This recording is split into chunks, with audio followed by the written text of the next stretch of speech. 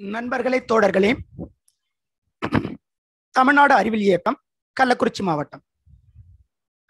தொடர் நேரலை அமர்வில் இருநூற்றி ஐம்பத்தி இரண்டாவது அமர்வு.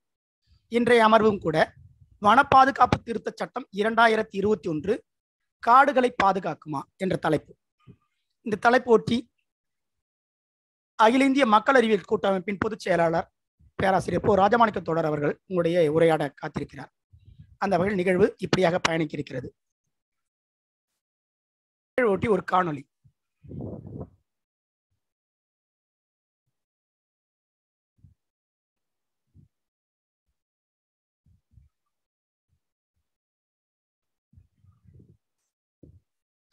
வன பாதுகாப்பு திருத்தச் சட்டம் இரண்டாயிரத்தி இருபத்தி ஒன்று காடுகளை பாதுகாப்புமா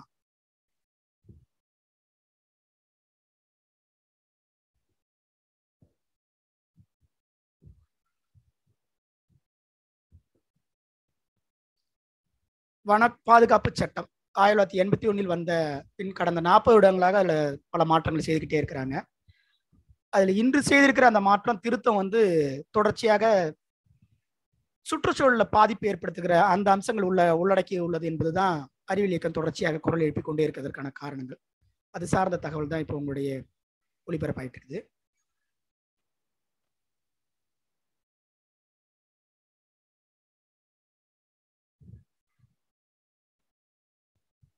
இந்த இராணுவங்களுடைய தேவைகளுக்காக ஒன்றிய அரசின் அந்த ஒரு அனுமதியே போதும். மாநில அரசோட அனுமதி தேவையில்லை அப்படின்ற அளவுக்கு மாநில சுயாட்சியை பாதிக்க பாதிக்கக்கூடிய தகவல்லாம் உள்ளடக்கி உள்ளதுன்றது தான் அந்த தகவல்கள். இன்றைய பேச்சாளர் பேராசிரியர் பு. ராஜமாணிக்கம் அவர்கள் அறிவியல் வெளியீடுகளில் நிறைய புத்தகங்கள் அவருடைய புத்தகங்கள் எழுதியிருக்கிறாங்க. அவங்க அறிவொளி இயக்க காலத்திலிருந்து அறிவியல் இயக்கத்தை வளர்த்தெடுக்கக்கூடிய மிக முக்கியமான ஆளுமை தமிழ்நாடு அறிவியல் இயக்கத்திற்கு. அகில இந்திய பள்ளி அறி அறிவியல் இயக்க கூட்டமைப்போட பொதுச் செயலாளராக இருந்து கொண்டு இந்த காலத்தில் கொரோனா சார்ந்து நிறைய உரையாடல்களும் அது சார்ந்த மூடநம்பிக்கைகள் சார்ந்து பே பேச்சுரைகளும் தொடர்ச்சியாக இயக்கத்தின் வாயிலாக தொடர்ச்சியாக நடத்தி கொண்டே இருந்தார். விஞ்ஞான சிறகோட ஆசிரியராக இருந்து கொண்டு விஞ்ஞான சிறகளுடைய அந்த தகவலையும் உள்ளடக்கி அவ்வப்போது அறிவியல் இயக்கத்திற்கான ஒரு செழுமையை கொடுத்து கொண்டிருக்கூடிய ஒரு ஆசிரியருக்குள் இருக்கக்கூடிய நபரும் கூட அவர்.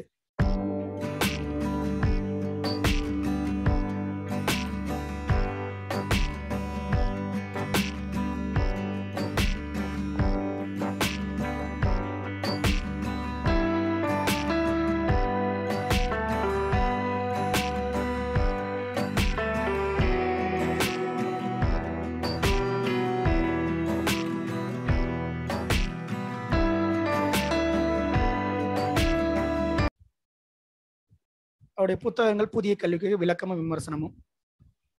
கல்வி ஒரு இருண்ட காலம் என்பதை அந்த புத்தகத்தையும் பார்த்தோம். இது கொரோனா காலத்தில் போலி அறிவிலும் அதன் பின்னணி என்ற அந்த தலைப்பில் அவர் ஆற்றிய ஒரு உரை என்பது.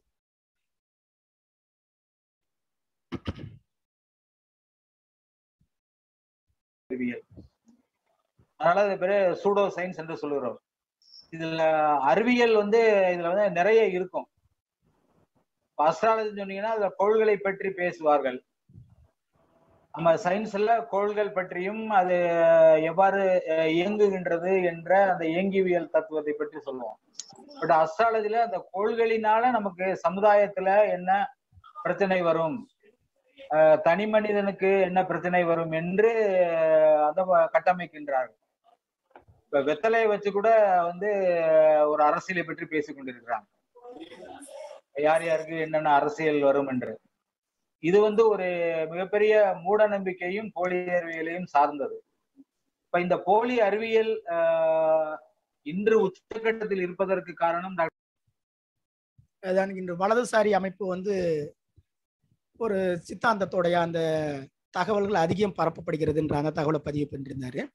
சூடாகும் பூமி இது ஒரு மிகுந்த படப்பில் கொண்டு சேர்க்கப்பட்ட ஒரு புத்தகம். இன்று குளோபல் வார்மிங் சார்ந்து நம்ம பேசுகிற பொழுது அது சார்ந்த கட்டுரைகளை அவ்வப்போதே கொடுத்து இன்றைய சூழலை அன்றைய கணித்த அறிவியல் பூர்வமாக எழுதப்பட்ட ஒரு புத்தகம் கூட.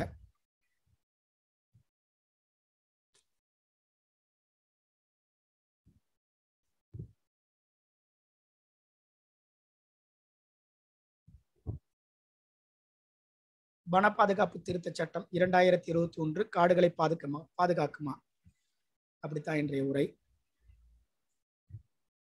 நண்பர்களே இணைந்திருப்பு பொருளுக்கு உங்களுக்கு ஆச்சரியம் தரக்கூடிய தலைப்பு அப்படின்னு சொல்றதை விட இந்த தலைப்பு தொடர்ச்சியாக அறிவியல் இயக்கம் இப்படியான நிகழ்வுகளை எடுத்து என்பதன் மூலமே அறிவியல் இயக்கம் தன்னுடைய ஆளுமையை செலுத்தியது அப்படின்னு சொல்லலாம். அறிவியல் இயக்கம் ஒரு புரிதலை உருவாக்குவதோடு தொடர்ச்சியாக ஒரு ஒரு புதிய சட்டம் அது சுற்றுச்சூழல் சார்ந்து வருகிறது வன மசோதா சார்ந்து வருகிறதுன்ற போது அது ஒரு உரையாடலை எடுத்து எம்பணும் அப்படின்றதான் அறிவியல் இயக்கம் பேசும். அதில் ஏன் இதற்கு எப்படின்ற கேள்விகளோடு நம்ம பயணிக்க வேண்டியிருக்கும் அப்படின்ற தகவல் தான் இங்கே நான் சொல்ல வேண்டியிருக்குது. அந்த வகையில் அப்படியான ஒரு தகவலை தர நம்முடைய காத்திருக்கிறார் இப்போ அகில இந்திய அறிவியல் இயக்க கூட்டமைப்புடைய பொதுச் செயலாளருடைய இப்போ ராஜமாணிக்க தொடர் அவர்கள். அவருடைய பணி சார்ந்து நம்முடைய காணொலி காட்டிய அந்த தகவல் வந்து மிகவும் குறைவு. தேடி எடுத்த தகவலுக்கும் சில விடுபட்டிருக்கலாம். ஆனால் அதை சார்ந்து அவரோட உரையாடுகிற பொழுது நம்ம அவருடைய அவங்க ஒரு வரலாற்று லெஜெண்ட் சொல்லுவோம் அறிவியல் இயக்கத்துக்கு. ஏன்னா அவங்களாம் வந்து வரலாற்று பெட்டகமாக அறிவியல் இயக்கம் ஆரம்பிக்கப்பட்டதிலிருந்து அறிவியலோட செயல்பாடுகளை அவ்வப்போது கண்காணித்து அதை இன்று வரை இளைய சமுதாயத்துக்கு கொண்டு வந்து சேர்க்கிற அந்த ஏற்பாடு வரை சிறப்பாக செய்தவர்கள். அந்த வகையில் அவரோட உரையாடுவது என்பது நமக்கான ஒரு தெளிவுத்தன்மைக்கு மிக சிறப்பாக இருக்கும். அந்த வகையில் தமிழ்நாடு அறிவியல் கள்ளக்குறிச்சி மாவட்டம் அவர்களை வரவேற்று உபசரிப்பது மிகுந்த பெருமை கொள்கிறது. வாருங்கள் கூட அன்பு வணக்கம். கள்ளக்குறிச்சி மாவட்டத்தினுடைய தமிழ்நாடு அறிவியல் இயக்கத்தினுடைய இருநூத்தி ஐம்பத்தி ரெண்டாவது இணையவழி கூட்டத்தில் கலந்து கொள்வதில் பெருமகிழ்ச்சி அடைகிறேன். கள்ளக்குறிச்சி மாவட்டம் தமிழ்நாடு அறிவியல் இயக்கத்திற்கு ஒரு புதிய குழந்தை. இருப்பினும் இந்த குழந்தை என்பது சின்ன சின்ன எட்டுகளாக வைத்து இன்றைக்கு இருநூத்தி ஐம்பத்தி ரெண்டாவது நிகழ்வை நடத்துவது என்று சொன்னால் அது மிகவும் பாராட்டுக்குரிய விஷயம். மதுரையிலே நாங்கள் ரொம்ப லேட்டாக ஸ்டார்ட் பண்ணி இப்போ பதினொன்றாவது நிகழ்வுல தான் இருக்கிறோம் அந்த இணைய வழி கருத்தரங்கம். குறிப்பாக விஞ்ஞானிகளை திரட்டுவதற்காக செய்து கொண்டிருக்கிறோம். ஆகவே ஒரு கள்ளக்குறிச்சி மாவட்டம் என்பது கருத்தாளர்கள் குறிப்பாக நண்பர் கருணாகரன் போன்றவர்கள் மற்றும் பல இயக்க முன்னணி ஆர்வலர்கள் இந்த தொடர் நிகழ்ச்சியை கொரோனா காலத்துல நடத்து கொண்டிருப்பது மிகவும் ஆச்சரியத்தக்கதாக இருக்கிறது. ஆனால் அவர்களுக்கு முதலில் நான் பாராட்டுகளை தெரிவித்துக் கொள்கிறேன். கள்ளக்குறிச்சி மாவட்டம் நிச்சயமாக எதிர்காலத்தில் ஒரு சிறந்த அறிவியல் மாவட்டமாகவும் அதே போன்று மாநிலத்திற்கு பணியாற்றக்கூடிய ஆர்வலர்களையும் தரக்கூடிய ஒரு மாவட்டமாக நமக்கு கண்ணில் தெரிகிறது. அந்த அடிப்படையில் கள்ளக்குறிச்சி மாவட்டத்தில் பங்கு வருவதில் நான் மிக்க மகிழ்ச்சி அடைகிறேன். என்னை பற்றி ஒரு சிறிய முன்னோட்டத்தையும் நண்பர் கருணாகரன் அவர்கள் உங்களிடம் தெரிவித்தார். அது அறிவியல் இயக்கத்திற்காக நான் செய்த பணிகள் எனக்காகவோ அல்லது மற்றதற்காக செய்யவில்லை. அறிவியல் இயக்கத்திற்கு என்ன தேவை இருக்கிறதோ அந்த தேவையை உணர்ந்து என்னால் இயன்ற அளவு அந்த பணியினை செய்திருக்கிறேன். அதன் மூலம் அறிவியல் இயக்கத்தை கொள்கைகளை மக்களிடம் எடுத்து சென்றிருக்கிறேன் என்பதுதான் என்னுடைய வேலையாக நான் கருதுகிறேன். இது அறிவியல் இயக்கம் எனக்கு கொடுத்த வேலை. அகில இந்திய அளவிலும் சரி மாநில அளவிலும் சரி வேலைகள் வரும் பொழுது சொந்த வேலைகளை கூட விட்டுவிட்டு சொந்த தயாரிப்புகளை விட்டுவிட்டு கூட நாம் இதை செய்து கொண்டிருக்கிறோம். அந்த அடிப்படையில நம்ம அறிவியல் இயக்க ஆர்வலர்கள் இயக்கம் கொடுக்கின்ற அறைகூவலை ஏற்று நம்முடைய சொந்த விருப்ப விருப்பெல்லாம் தள்ளி வைத்துவிட்டு நம்ம செயல்பட வேண்டிய தருணம் இது. இந்த நிகழ்ச்சிக்கு மாநில செயலாளர் திரு. ஸ்டீபன்நாதன் மிக குறுகிய காலத்தில் ஏற்பாடு செய்திருக்கிறார். அவருக்கு என்னுடைய பாராட்டுகளை தெரிவித்துக் கொள்கிறேன். ஸ்டீஃபன்ட்ட ஒரு பொறுப்பை கொடுக்குறா எந்த வகையினாலும் அந்த நடவடிக்கையை மேற்கொள்வது என்ற அடிப்படையில இப்ப கள்ளக்குறிச்சி மாவட்டத்தை தேர்ந்தெடுத்து அதன் மூலமாக இன்றைக்கு தமிழ்நாடு முழுவதும் இந்த நிகழ்ச்சியை கொண்டு செல்வதற்கான ஒரு பெரும் முன்னெடுப்பை எடுத்துக்கொண்டிருக்கிறார். நண்பர் ஸ்டீஃபனுக்கு எனது அன்பார்ந்த நன்றிகளையும் வாழ்த்துக்களையும் தெரிவித்துக் கொள்கிறேன். இன்றைக்கு வந்து கள்ளக்குறிச்சி மாவட்டத்தில் உள்ள இப்பதான் ஜஸ்ட் பார்த்து இந்த கள்ளக்குறிச்சி மாவட்டத்தில் என்ன மலை இருக்கு என்ன காடுகள் இருக்கு அப்படிங்கிறத பார்க்கும்போது இது வந்து சேர்வராயன் குன்றுகள் என்று கூறப்படுகின்ற கிழக்கு தொடர்ச்சி மலையினுடைய பகுதிகள் இங்கு இருக்கின்றது. குறிப்பாக கல்வராயன் மலை என்ற ஒரு இருக்கிறது. இந்த கல்வராயன் மலையில சார்ந்த காடுகள் என்பது ஒரு அதுவும் காடுகள் தான் கரையேற்றப்பட்ட காடுகள் தான்.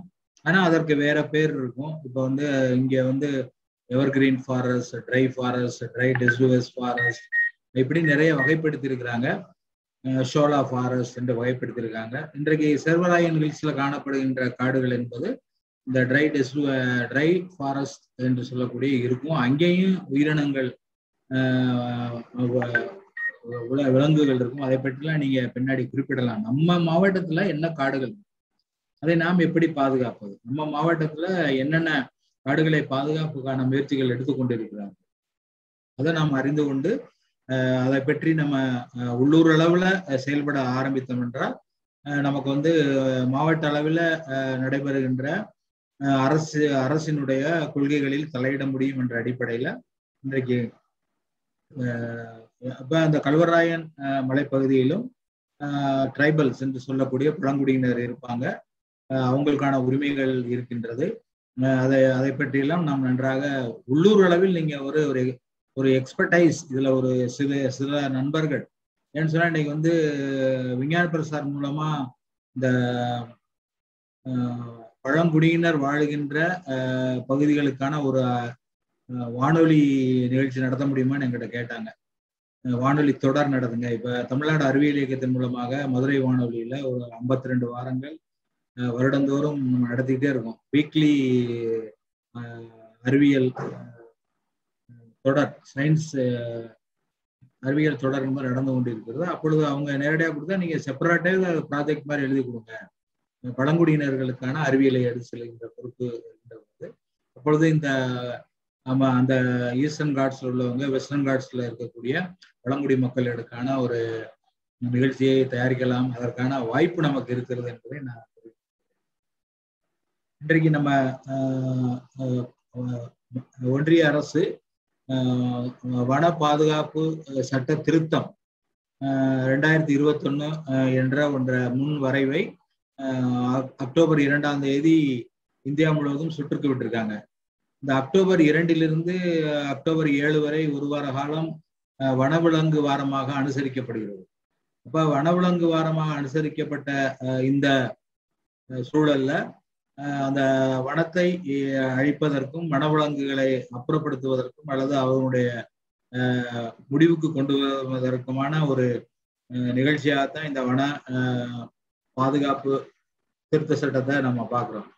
அதோட இது வருகின்ற காலகட்டம் என்பது என்னன்னா பத்து வருடங்களுக்கு decadal action for ecological restoration ஆங்கிலத்தில் கொடுக்குறாங்க சர்வதேச அளவுல பத்து வருடங்களுக்கு நம்முடைய சூழல் மண்டலத்தை திரும்பி பெற வேண்டும் என்ற ஒரு கொள்கையை முன்வெடுத்து அல்லது புனரமைத்து செய்ய வேண்டும் என்று அவங்க நிறைய அடிப்படையில் சொல்லியிருக்காங்க. தமிழ்நாடு அறிவியல் இயக்கம் கூட அதை நம்ம எடுத்துக்கொண்டு பள்ளிகள்ல கிராமங்கள்ல இருக்கக்கூடிய ஏன் நகரப்புறத்துல கூட நம்ம மீண்டும் ஒரு புதிய உம், சூழல் மண்டலத்தை இருக்கின்ற சூழல் மண்டலத்தை மேம்படுத்துவது புதிய புது வகையான சூழல் மண்டலங்களை உருவாக்குவது இப்ப டாக்டர் தினகரன் கூட செயற்குழுவுல பேசினாரு. அந்த இதுல அந்த ஃபாரஸ்ட் வந்து மூணு சென்ட்ல கூட இருக்கலாம் அப்படிங்கிற மாதிரியான ஒரு அர்பன் ஃபாரஸ்ட்ரி அந்த மாதிரியான வாய்ப்புகள் எல்லாம் இந்த செய்ய வேண்டும் என்று சர்வதேச அளவுல இந்த சர்வதேச சுற்றுச்சூழல் தினத்துல ஜூன் அஞ்சாம் தேதி அது வந்து ஆஹ், வெளியிடப்பட்டது. ஆனால் அதை மனதில் கொள்ளாமல் இன்னைக்கு நம்முடைய காடுகளில் இருக்கக்கூடிய சூழல் மண்டலத்தை அழிப்பதற்கான ஒரு சட்டமாக கொண்டு வந்திருப்பதுதான் இது இருக்கக்கூடிய வேதனைக்குரிய விஷயம்.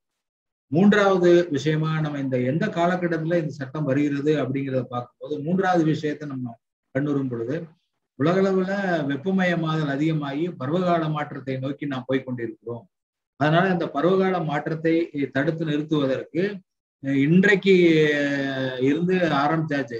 சிஓபி டுவெண்ட்டி சிக்ஸ் என்று சொல்லி கான்ஃபரன்ஸ் ஆஃப் பார்ட்டிஸ் உடைய அனைத்து இதுல இன்வால்வ் ஆகிருக்கக்கூடிய நாடுகளின் தலைவர்கள் எல்லாம் சந்தித்து அதை பத்தி முடிவெடுக்க போறாங்க. அந்த கான்ஃபரன்ஸ் ஆஃப் பார்ட்டிஸ்ல முடிவெடுக்க வேண்டியது என்னன்னா இந்த பூமியினுடைய வெப்பத்தை ஒன்று புள்ளி அஞ்சு டிகிரி அல்லது ரெண்டு புள்ளி அஞ்சு ரெண்டு டிகிரி செல்சியஸ்ல நிறு நிறுத்த வேண்டும். இல்லை என்றால் அது மிகப்பெரிய பூமியே வெப்பத்தால கருகி போய்விடும். பெரிய மா- பெரிய பருவகால மாற்றங்கள் ஏற்படும் என்று எச்சரித்து அதை அறிவியல் ரீதியாக எச்சரிச்சிருக்காங்க இன்றைக்கு நோவல் பரிசு பிசிக்ஸ்ல நோவல் பரிசே கூட இந்த குளோபல் வார்மிங்கான ஒரு இயற்பியல் விதிகளை அமுல்படுத்தி ஏன் கார்பன் டை ஆக்சைடு வந்து வெப்பத்தை தக்க வைத்துக் கொள்கிறது? வளிமண்டலத்துல நைட்ரஜன் இருக்கு ஆக்சிஜன் இருக்கு பலவிதமான வாயுக்கள் இருக்கும்போது carbon dioxide nitrous oxide methane H two O போன்றவை மட்டும் ஏன் வெப்பத்தை தக்க வைத்துக் கொள்கிறது. மற்ற வாயுகளைப் போல வெப்பத்தை ஏன் அது வெளிவிடுவதில்லை என்று ஒரு அறிவியல் ரீதியாக ஆராய்ச்சி செய்து நோபல் பரிசு வாங்கியிருக்காங்க. பல இடங்களுக்கு முன்னாடி நடந்தது. இப்போ அது போன்ற சூழ்நிலையில பூமியினுடைய வெப்பமயமாதல் அதிகரிக்கிறதுனால எல்லா நாடுகளும் இந்த கார்பன் டை ஆக்சைடை எவ்வாறு மறுசுழற்சி பண்ணி கொள்வது அதனாலதான் ரெண்டாயிரத்தி ஐம்பதுல zero emission net zero emission என்று குறிப்பிடுறாங்க. அதாவது ரெண்டாயிரத்தி ஐம்பதுல கார்பன் டை ஆக்சைடு என்பது வளிமண்டலத்துல அதிகரிக்காது. அதிகரிக்க கூடாது அது அந்த உருவான நம்ம வந்து கார்பன் டை ஆக்சைடு வெளியிடாமல் இருக்க முடியாது. நம்ம இல்ல அந்த நேரத்துல ஆயிரம் கோடி பேரோட இருப்பாங்க. ரெண்டாயிரம் ரெண்டாயிரத்தி ஐம்பதுல ஆயிரம் கோடி கூட வந்துடும் உலகத்தினுடைய ஜனத்தொகை. அதனால அவ எல்லாமே சுவாசிக்கின்ற எல்லாமே இயற்கையிலேயே கார்பன் டை ஆக்சைடு வெளியிட்டு தான் இருப்போம். அதே மாதிரி இயற்கையில் நடைபெறுகின்ற நிகழ்வுகளான இந்த எரிமலை வெடிப்பு பல்வேறு விதமான நிகழ்வுகள் மூலமாக இயற்கையிலேயே கார்பன் டை ஆக்சைடு வரும். அப்ப இது போன்ற இயற்கை நிகழ்வுகள் தவிர மனிதனுடைய செயல்பாடுகளால் இண்டஸ்ட்ரியல் ஆக்டிவிட்டிஸ்னால தொழிற்புரட்சிக்கு பின்னாடி கார்பன் டை ஆக்சைடு என்பது அதிகரித்துள்ளது. இதுதான் இன்றைக்கு வளிமண்டலத்துல இருக்கு.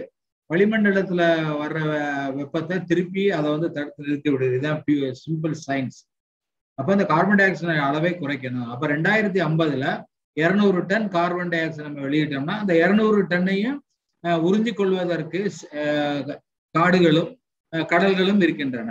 அப்ப அந்த இருநூறு டன் கார்பன் டை ஆக்சைடை உறிஞ்சு கொள்வதற்கான காடுகள் நமக்கு தேவை. அப்ப காடுகள் மிக முக்கிய பங்கு வகிக்கின்றன. அதனால வந்து காடுகள் வளர்ப்புக்கு முக்கியத்துவம் கொடுக்குறோம். இருக்கிற காடுகளை அழிச்சிடக்கூடாது. இன்னும் காடுகளை அதிகரிக்க வேண்டும். இந்தியாவுக்கே கமிட்மெண்ட் வந்து மூணு லட்சம் டன் கரியமில வாயுவை ரெண்டாயிரத்தி முப்பதுல குறைக்கணும். அப்ப மூணு லட்சம் டன் கரியமில வாயுவை குறைக்கணும்னு சொன்னா அதற்கேற்றபடி காடுகளை அதிகரிக்க வேண்டும்.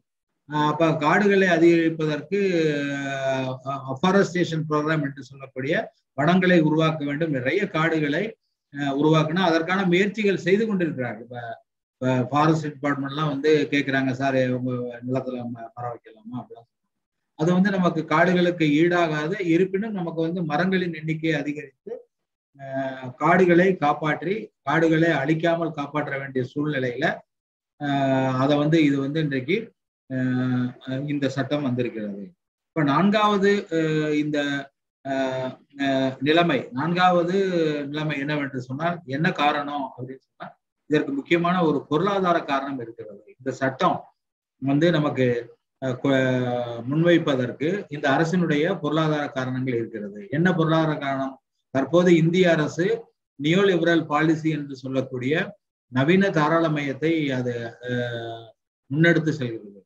நவீன தாராள மயத்தில் முழுக்க முழுக்க அது கார்ப்பரேட்டுகளுக்கான பொருளாதார கட்டமைப்புகளை உருவாக்க வேண்டும். பொருளாதார உற்பத்தி முறை என்பது கார்ப்பரேட்டுகள் மூலம்தான் சாத்தியமாகும் என்ற அடிப்படையில அது ஆத்ம நிர்பார் பாரத் சுயசார்பு பாரதம் என்றும் அது கார்ப்பரேட்டுகளால தான் நம்ம நம்ம சொல்ற சுய சார்பு பாரதம் என்பது பொதுத்துறை நிறுவனங்கள் மூலம் பொதுத்துறை சேவைகள் மூலம் ஒரு சுயமான இந்தியாவை சுயசார்பான இந்தியாவை உருவாக்க வேண்டும் என்று நீண்ட காலமாக பேசிக் கொண்டிருக்கிறோம் ஆனால் தற்போதைய இருக்கின்ற ஒன்றிய அரசு அதனுடைய பொருளாதார பார்வை என்பது நவீன தாராளமயத்திற்கு உரிய பார்வை. அதில் கார்ப்பரேட்டுகள் குறிப்பாக இந்த குரோனி கேபிட்டலிசம் என்று சொல்லக்கூடிய ஒரு கூட்டணி கூட்டாளிகள் கார்ப்பரேட்டுகளே கூட்டாளிகளை வைத்துக்கொண்டு அதற்கான திட்டங்களை தீட்டுவது என்ற அடிப்படையில பல்வேறு கொள்கைகள் வடிவமைப்பு மாற்றி வடிவமைக்கப்படுகின்றன. நம்ம ஏற்கனவே இஐஏ டுவெண்ட்டி டுவெண்ட்டி அதில் பார்த்தோம். இஏ டுவெண்ட்டி டுவெண்ட்டியில் வந்து எப்படியெல்லாம் இந்த சுற்றுச்சூழல் தாக்க மதிப்பீடுகளை விட்டு செல்வது. தேவையில்லாம இது எதுக்கு இதை வச்சுக்கிட்டு இருக்கீங்க? இதனால வந்து ஒரு தொழில் தொழில் வளர்ச்சியும் இல்லை. இது வந்து ஒரு தடையாக இருக்கிறது என்று சொல்லித்தான் அந்த இஏ டுவெண்ட்டி டுவெண்ட்டியை கொண்டாந்தாங்க. அந்த இஏ டுவெண்ட்டி டுவெண்ட்டிக்கு இந்தியாவில் கடுமையான எதிர்ப்பு. தமிழ்நாடு அறிவியலுக்கு மிக அருமையான பணியை செய்தது. நண்பர் ஸ்டீஃபன் அந்த சுற்றுச்சூழல் குழுக்கள் வந்து இதை மிக எடுத்து சென்று செய்ததுனால இன்றைக்கு வந்து அது நிறுத்தப்பட்டிருக்கிறது. எழுபத்தஞ்சு லட்சம் எதிர்ப்பு கருத்துக்கள் சென்ற காரணத்தினால உடனே பின்வாங்கி நாங்க மறுபடிக்கும் உங்க ரீஜனல் லாங்குவேஜஸ்ல கொடுத்துருக்கோம் அப்படின்னு சொல்லிட்டு டிசம்பர் இருபத்தொன்னு வரைக்கும் அதை தள்ளி வச்சிருக்கோம். இப்ப மறுபடியும் நம்ம ஒரு போராட்டம் நடத்த வேண்டியது இருக்குது. ஆனால் இன்னைக்கு பாத்தீங்கன்னா இந்த ஃபாரஸ்ட் அமெண்ட்மெண்ட் ஆக்ட் வந்து இந்தி ஆங்கிலத்துல கொடுத்துருக்காங்க. இப்ப என்னமோ பிற மொழிகளிலும் கொடுத்துருக்கோம் என்று சொல்லி ஒரு பதினைந்து நாள் டைம் மட்டும் கொடுத்து நமக்கு வந்து இதற்கு வந்து கருத்து கேட்டிருக்காங்க. கருத்து கேட்பதும் வந்து அந்தந்த மாவட்ட மாநில தலைமை வன பாதுகாவலர் அது மாதிரி ஒரு நாலஞ்சு பேரை போட்டு இவங்கள் மூலமாக கருத்துக்களை இவங்க வந்து இன்டர்ன் வந்து பப்ளிக்கிட்ட கேட்கணும். அதெல்லாம் நடந்திருக்கான்னு நமக்கு தெரியல. அவங்க பப்ளிக் கன்சல்டேஷன் பண்ணாங்களா? இல்லைன்னா நம்ம போன்ற இயக்கங்கள் வெப்சைட்ல பார்த்து அந்த இன்டர்நெட் மூலமாக தான் நம்ம தெரிந்து கொண்டிருக்க சூழ்நிலையில அது வந்து எப்படி பொதுமக்களிடம் செல்ல ஆனா இது பொதுமக்களிட கருத்துக்களுக்கே இது வந்து எடுத்து செல்லக்கூடிய வாய்ப்பே இல்லை. பதினஞ்சு நாள் டைம் கொடுத்து மேலும் பதினஞ்சு நாள் நீட்டித்து இன்று சரியாக ஐந்து மணியோட முடிச்சிருவாங்க ஆபீஸ் டயத்தோட இன்றைக்கு இருக்கிறதுக்கு. அதற்கு வந்து நண்பர் ஸ்டீஃபன் வந்து எல்லா மாவட்டத்திற்கு அனுப்பி இன்டர் மெயில் மூலமாக அனுப்புங்கள் என்று குறிப்பிட்டிருக்கார் நாம் வந்து அதை முடிந்த அளவு நிறைவேற்றுவோம். இருப்பினும் நம்ம வந்து இதை மக்களிடம் எடுத்து சென்று இதை மக்களிடம் விவாத பொருளாக மாற்றுவதன் மூலம் தான் அந்தந்த பகுதியில் இருக்கக்கூடிய காடுகள் காப்பாற்றப்படும் என்ற இந்த பேக்ரவுண்டோட நம்ம ஒரு நமக்கு வர வேண்டியது இருக்கு. முதல்ல என்னன்னு சொன்னோம்னா நம்ம அந்த காடுகள் பாதுகாப்பு சட்ட திருத்தம் என்பது இது வந்து ஒரு சட்ட ரீதியாக சரியில்லை. இதுக்கு லீகல் லீகல் என்டிட்டி கிடையாது. லீகலா இது சரியில்லை என்று நம்ம அகில இந்திய மக்கள் அறிவியல் கூட்டமைப்பு வெளியிட்டிருக்கிறது ஒரு சட்ட திருத்தத்தை கொண்டு வர வேண்டுமென்னா அதற்கான வார்த்தைகள் இருக்கிறது அதற்கான வாக்கியங்கள் இருக்கின்றன அதற்கான ரெஃபரன்சஸ் இருக்கிறது என்று சொல்லி ஆனா அவன் என்ன சொல்லிட்டானா இப்ப இது வந்து ஆக்ட் திருத்தம் அல்ல. இது வந்து ஒரு கன்சல்டேஷன் பேப்பர் நாங்க வந்து கன்சல்டேஷன் பேப்பர் உங்கள்ட்ட சுற்றுக்கு விட்டிருக்கோம் என்று குறிப்பிட்டு இது வந்து ஒரு இட் இஸ் நாட் இது வந்து அமெண்ட்மெண்ட்டே கிடையாது என்று நம்ம வாதித்துட்டு இருக்கோம் இது வந்து ஒரு கன்சல்டேஷன் பேப்பர் தான் என்று அவங்களும் குறிப்பிட்டிருக்காங்க. அதனால இது வந்து இனிமேல் தான் வந்து ஒரு அமெண்ட்மெண்டா அமெண்ட்மெண்ட்டுக்கு வந்து நிறைய டெபினிஷன்ஸ் கொடுக்கணும். இப்போ ஃபாரஸ்ட்னா என்ன அப்படிங்கிறது டெபினிஷன் கொடுக்கணும். ஃபாரஸ்ட் அலுவலர் இந்த பிசிசிஎஃப் அப்படின்னா அவர் யாரு? அவர் எங்கே இருப்பார்? இந்த மாதிரியான எல்லா வருங்களும் கொண்டதான் அமெண்ட்மெண்ட் ஒரு ஆக்ட்ல கொண்டாடும் போது ஆர்டிஐ கொண்டாடும் போது அப்படித்தான் கொண்டாந்தாங்க. அதனால இது எந்த விதமான ஜார்கன்ஸ் ஒரு அரசியலமைப்பு சட்டப்படி ஒரு அமெண்ட்மெண்ட் கொண்டு வருவதற்கான வாக்கியங்களோ வார்த்தைகளோ விரிவாக்கங்களோ எதுவுமே இல்லாம வந்ததுனால இது it is a consultation paper என்று இன்றைக்கு அறிவித்திருக்காங்க. இந்த கன்சல்டேஷன் பேப்பர் என்பது அதனுடைய நோக்கம் என்ன அப்படின்னா காடுகளை பாதுகாப்பதற்கென்று சொல்லியிருக்காங்க. ஆனா நம்ம இப்ப கள்ளக்குறிச்சி மாவட்டத்தை தலைப்பு போட்டோம் அது காடுகளை பாதுகாக்குமா அல்லது காடுகளை அழிக்குமா என்பதுதான் நம்ம அந்த அந்த கன்சல்டேஷன் பேப்பர்ல உள்ளதை நம்ம பேச வேண்டியது இருக்கிறது. இப்ப இன்றைக்கு ஆயிரத்தி தொள்ளாயிரத்தி இருபத்தி ஏழுல பிரிட்டிஷ் பீரியட்ல இருந்த அந்த காடுகள் சட்டம் என்பது முழுக்க முழுக்க டீஃபாரஸ்டேஷனுக்கும் அந்நிய பிரிட்டிஷ் ராஜ்யத்திற்கு சப்ளை பண்ணக்கூடிய காடுகளாக இருந்தன. அதனால காடுகளை அழிப்பதற்காகவே அந்த சட்டம் கொண்டாந்தாங்க ஆயிரத்தி தொள்ளாயிரத்தி இருபத்தி ஏழுல இந்த இந்த மாதிரி டீ பிளான்டேஷன்ஸ் காஃபி பிளான்டேஷன்ஸ் ஏலக்காய் பிளான்டேஷன்ஸ் அல்லது ரயில் பாதைகள் போடுவதற்கு அங்கே இன்க்ளூடிங் பிரிட்டிஷ் ராணிக்கு வந்து கட்டில் செய்வதற்கு பிரிட்டிஷ்ல நடந்த தொழில் புரட்சிக்கு வேண்டிய பொருள்களை இங்கே ஒரு ரா மெட்டீரியல்ஸ் எல்லா ரா மெட்டீரியல்ஸ் இங்க இருந்தா போக வேண்டிய சூழ்நிலை அப்படி ஒரு காடுகளை அழிப்பதற்கான சட்டம் தான் ஆயிரத்தி தொள்ளாயிரத்தி இருபத்தி ஏழுல வந்தது. Timber extraction deforestation and timber extraction என்று குறிப்பிடுகிறோம்.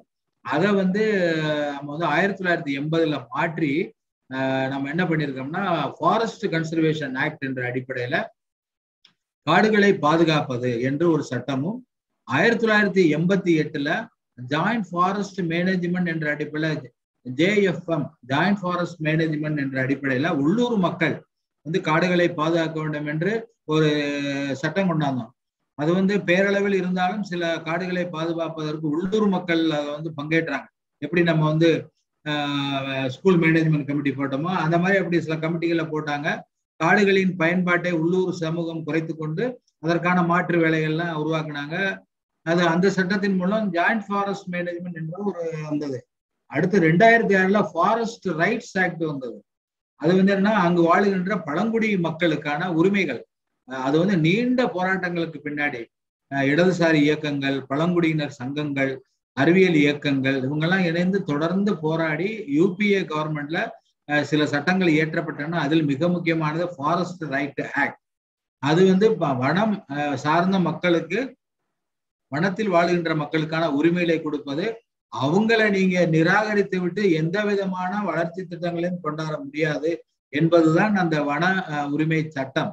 இப்ப இன்னைக்கு வந்து வன உரிமை சட்டத்தை வந்து இப்ப இந்த ஃபாரஸ்ட் அமெண்ட்மெண்ட் பில்லுல அவங்க குறிப்பிடுகின்ற யாருக்கு இதை செய்கிறார்கள் என்று குறிப்பிடும் பொழுது ஒரு வார்த்தை கூட அங்கு வாழுகின்ற பழங்குடியினர் மக்களுக்காக நாங்க வந்து இந்த சட்டத்தை கொண்டு வரவில்லை என்று சொல்லவில்லை.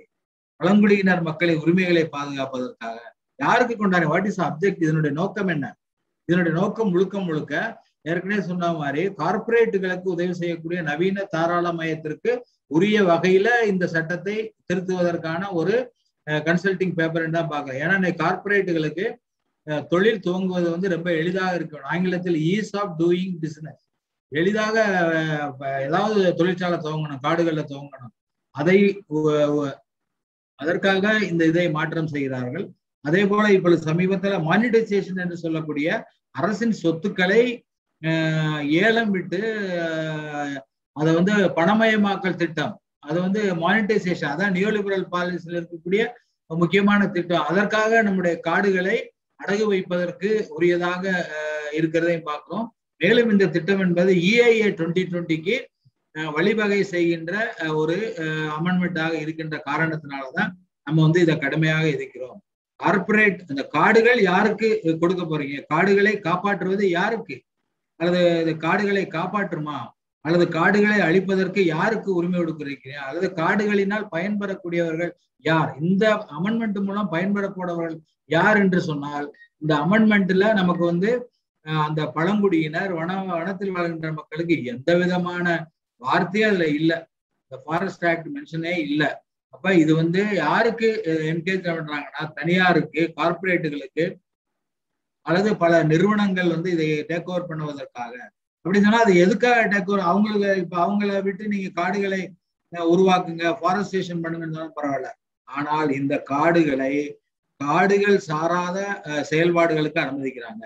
இப்ப காடுகள் சட்டம் என்பது காடு சார் செயல்பாடுகள் காடு சாராத செயல்பாடுகள் என்று பிரிக்கிறாங்க. Forest activity non forest activity என்று குறிப்பிடுறாங்க.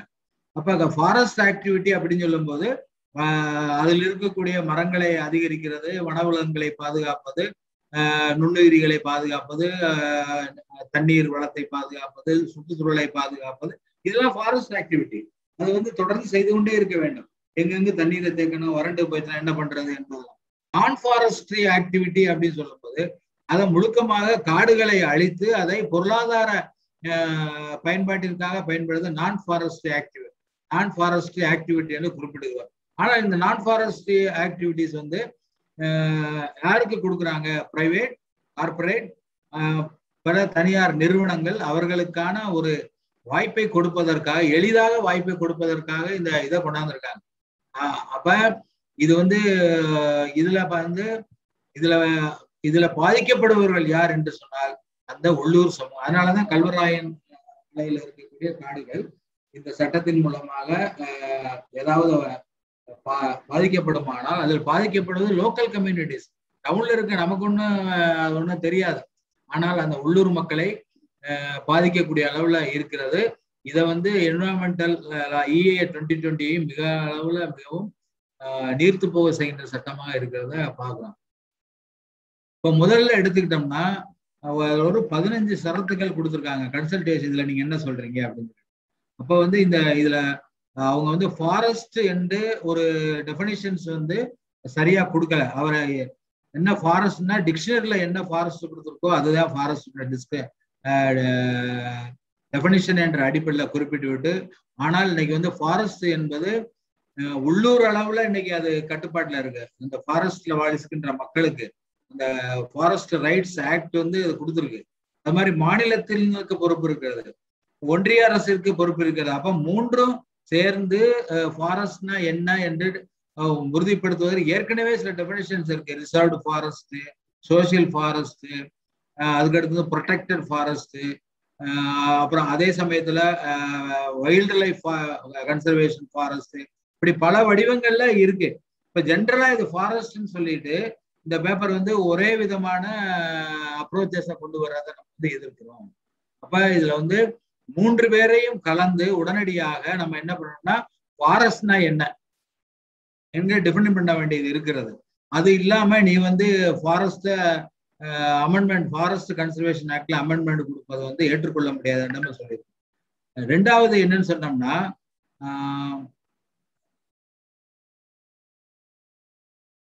அடுத்து வந்து பி ஒன்ல இதுல சொல்லாம minister of environment forest and climate change அவங்க தான் இதற்கு பொறுப்பு. அவங்க யூனிலேட்டரலா இதுதான் ஃபாரஸ்ட் என்று டிஃபைன் பண்ணக்கூடாது என்று நம்ம கொடுத்துருக்கோம்.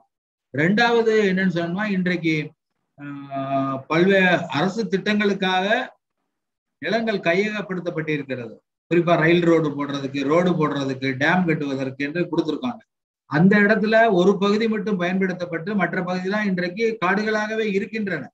இப்ப என்ன பண்றாங்கன்னா அந்த காடுகளை எல்லாம் வந்து நம்ம நான் ஃபாரஸ்ட் ஆக்டிவிட்டிக்கு யூஸ் பண்ணலாம் அப்படின்னு சொல்றாங்க. ஆனா எந்த நோக்கத்திற்காக அந்த காடுகள் வழங்கப்பட்டதோ அந்த நோக்கத்திற்காக தான் பயன்படுத்தப்பட வேண்டும்.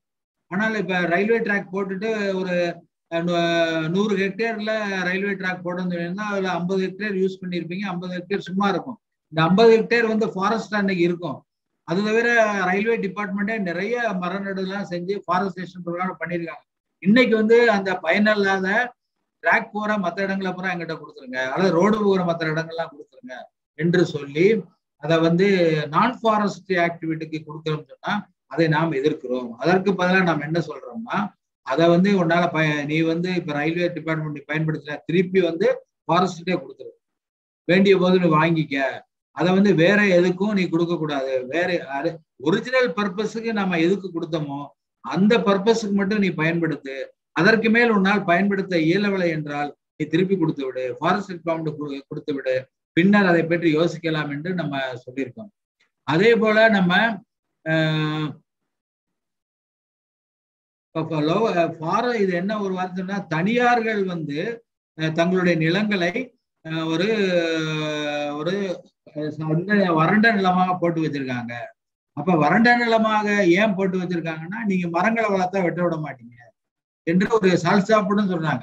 இப்ப தனியார்கள் அதனால வந்து தனியார்கள் வந்து மரம் வச்சிருக்கத நீங்க வந்து வெட்டுறதை நீங்க தடுக்க கூடாது இப்ப இதுல ஒரு விஷயம் இருக்கு. தனியார்கள் வந்து ஒரு வயல்ல வந்து யூக்கலிப்டஸ் பயிரிட்டு இருக்காங்க. நீங்க விழுப்புரம் மாவட்டங்கள்லாம் பாத்தீங்கன்னா சவுக்கு நிறைய பயிரிட்டு இருப்பாங்க. சவுக்கே ஒரு பெரிய காடுகள் மாதிரி இருக்கும்.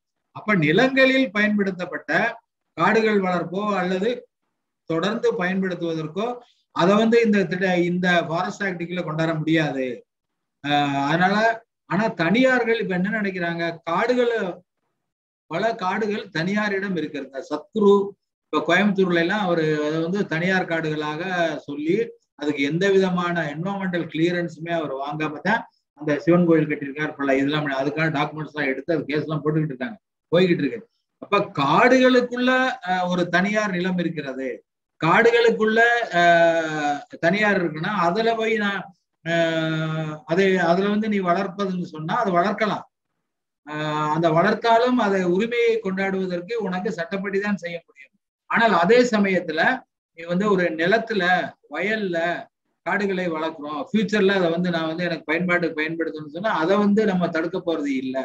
ஆனால் இதை இந்த வார்த்தையை சொல்லிவிட்டு விவசாயிகள் தனியார்கள் ஏன் வந்து நிலத்தை தரிசு நிலமாக போடுறாங்கன்னு சொன்னால் நீங்க ஃபாரஸ்ட் சட்டத்துல கொண்டாந்து மாட்டிடுவீங்க.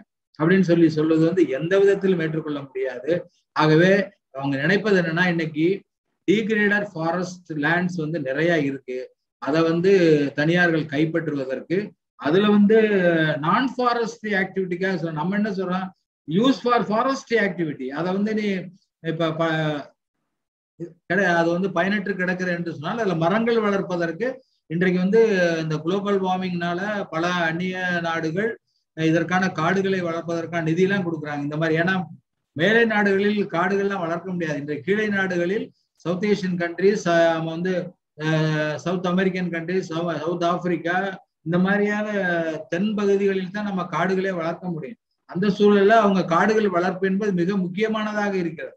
இப்ப இந்த டீக்ரேடர் ஃபாரஸ்ட் லேண்ட்ல ஃபாரஸ்டே டிபார்ட்மெண்ட்டே வந்து நிறைய மரங்களை நட்டு அதற்கான உதவிகளை செய்ய முடியும் என்றதையும் நம்ம மறுத்து நம்ம குறிப்பிடுகிறோம். அதற்கு பதிலாக இந்த டீக்ரேடர் ஃபாரஸ்ட நீங்க பிரைவேட்ட கொடுங்க என்பது போன்ற ஒரு இருக்கிறது. அதே போல ஒரு அமெண்ட்மெண்ட் என்ன கொடுத்துருக்காங்கன்னா சில காடுகள் மிக முக்கியமானதாக இருக்கிறது. அதை வந்து நம்ம வந்து கம்ப்ளீட்டா ப்ரொடெக்ட் பண்ணணும். அந்த காடுகள் வந்து ஈகோ சென்சிட்டிவ் காடுகள் அதுல வந்து யாருமே தலையிடக்கூடாது. அப்படி என்று சொல்லி சில வகையான பிரிஸ்டைன் ஃபாரஸ்ட் என்று சொல்லக்கூடிய ஒரு நேர்த்தி மிகுந்த காடுகள்ல நாங்க யாரையும் இது அதை வந்து பாதுகாக்கணும். குறிப்பிட்ட காலமாவது அதை பாதுகாக்கணும் என்று குறிப்பிடுறாங்க. ஆனா இதுல என்ன பார்த்தோம்னா அதன் மூலமாக அங்கு வாழுகின்ற மக்களினுடைய ஃபாரஸ்ட் ரைட்டை காலி பண்றதுக்கு வர்றாங்க. அந்த பிரிஸ்டைன் ஃபாரஸ்ட்ல அல்லது அந்த எழில்மிகு நேர்த்தியான காடுகள்ல இயற்கையான காடுகள்ல பழங்குடியினர் என்ன வசித்து கொண்டிருக்காங்க? இப்ப அவங்களை வெளியேற்றுவதற்காக அதை நாங்க வந்து ஒரு சிறப்பு மிகு காடுகள் என்ற அந்தஸ்துல நாங்க அதை பார்க்க போறோம் என்று சொல்லி அதை சொல்லியிருக்காங்க. நம்ம வந்து அதை எதிர்க்கிறோம்.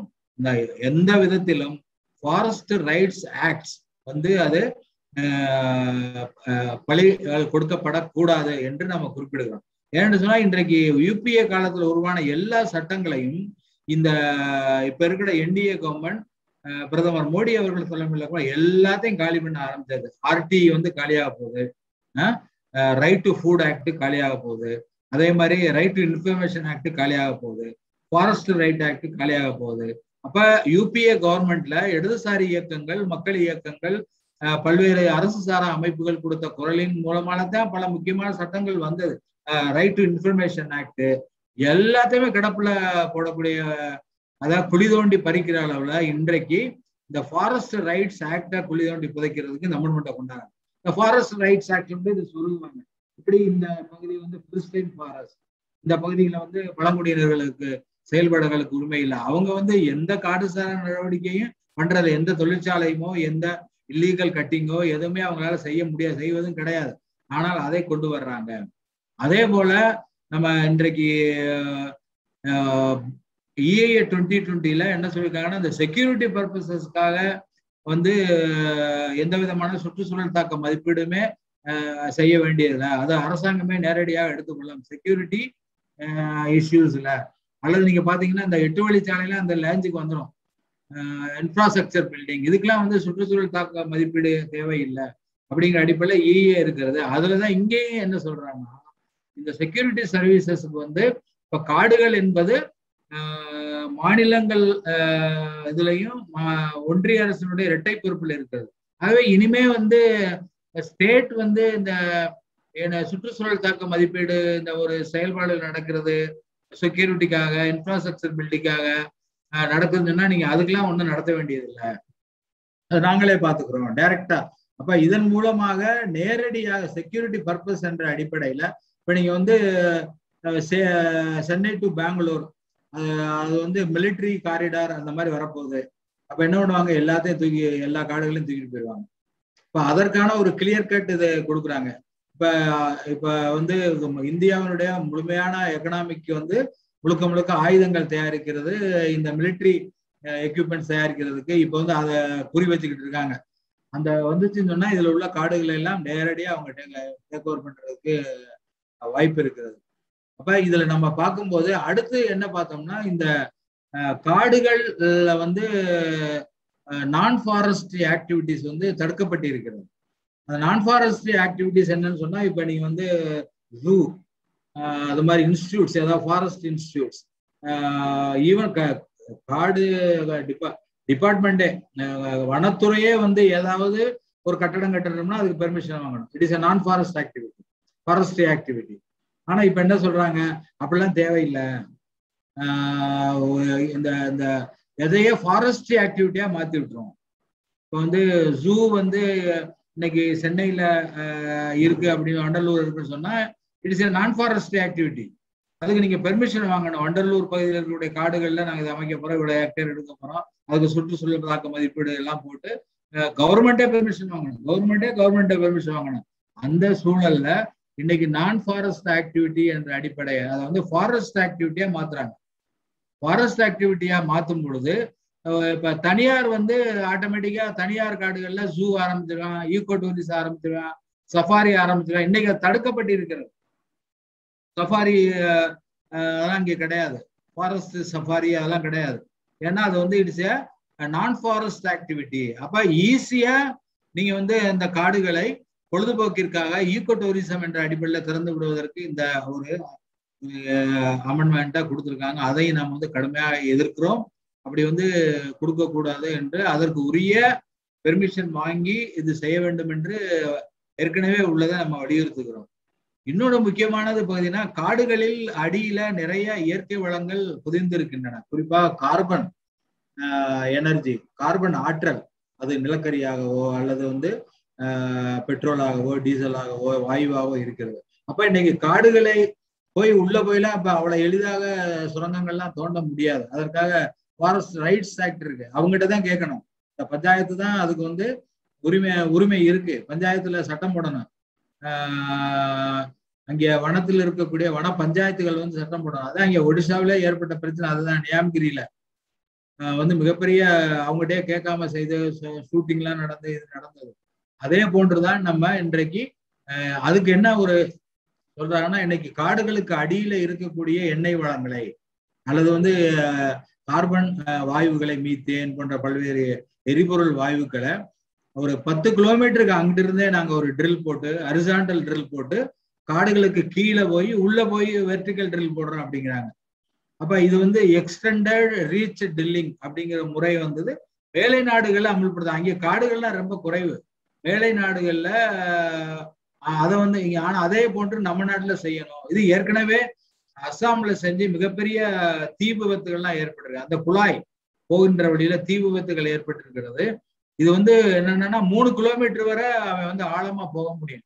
அப்ப மூணு கிலோமீட்டர் வரைக்கும் இருக்கக்கூடிய நம்முடைய அந்த நில கட்டமைப்பு நிலவியல் கட்டமைப்பு இதெல்லாம் என்னத்துக்கு ஆறு அதுவும் சொல்ல போனா அந்த பகுதியெல்லாம் நிலநடுக்கத்திற்கு உரிய பகுதிகள். அந்த ஏரியா நார்த் ஈஸ்டர்ன் ஹில்ஸ் அதெல்லாம் எடுத்துக்கிட்டேன்னா it is recently formed hills சமீபத்தில் உண்டான மலைகள்.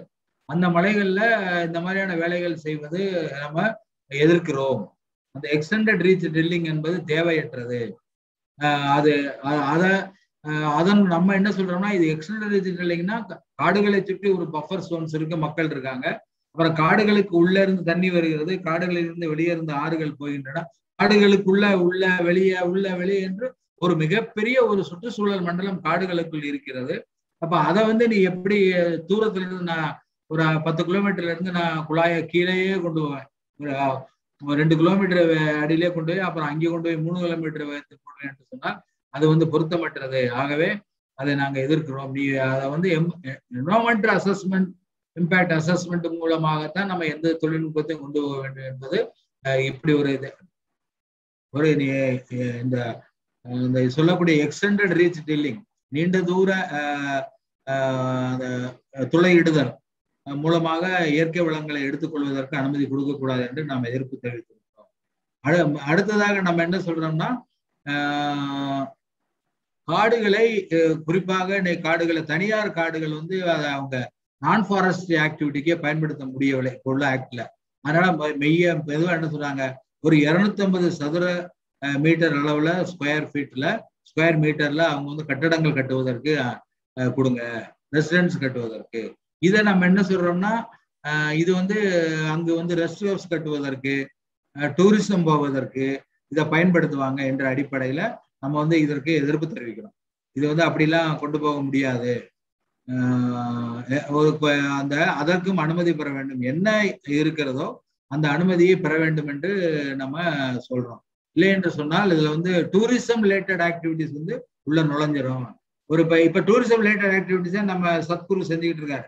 அவர் காடுகளில் போய் பல கட்டடங்களை கட்டி ஆன்மீக ரீதியான திஸ் இஸ் கால்டு ஆன்மீக சுற்றுலா. அங்கே போறவங்க போறாங்க. அது மாதிரி ஈகோ டூரிசம்னு ஒன்று பேரை வச்சுக்கிட்டு அதை செய்யறாங்க ஆனால் there is a clear cut guidance eco tourism forest நோவில் twenty twenty one இருக்கு. அதுக்கு வந்து நம்ம அதை வந்து டிராஃப்ட் பண்ணணும். அது அது வைத்து கொண்டுதான் நம்ம செய்ய வேண்டுமே ஒழிய அதற்கென்று தனியாக பயனுள்ள இந்த காடுகள் பா பாதுகாப்பு சட்டத்தில் அமெண்ட்மெண்ட் கொண்டு வரக்கூடாது. யாருக்கும் ஆஹ் எந்த விதமான கட்டடங்கள் கட்டுவதற்கோ இதோட அனுமதி அளிக்க கூடாது என்று நம்ம பிளாங்கட்டா எதிர்ப்பு தெரிவிக்கிறோம்.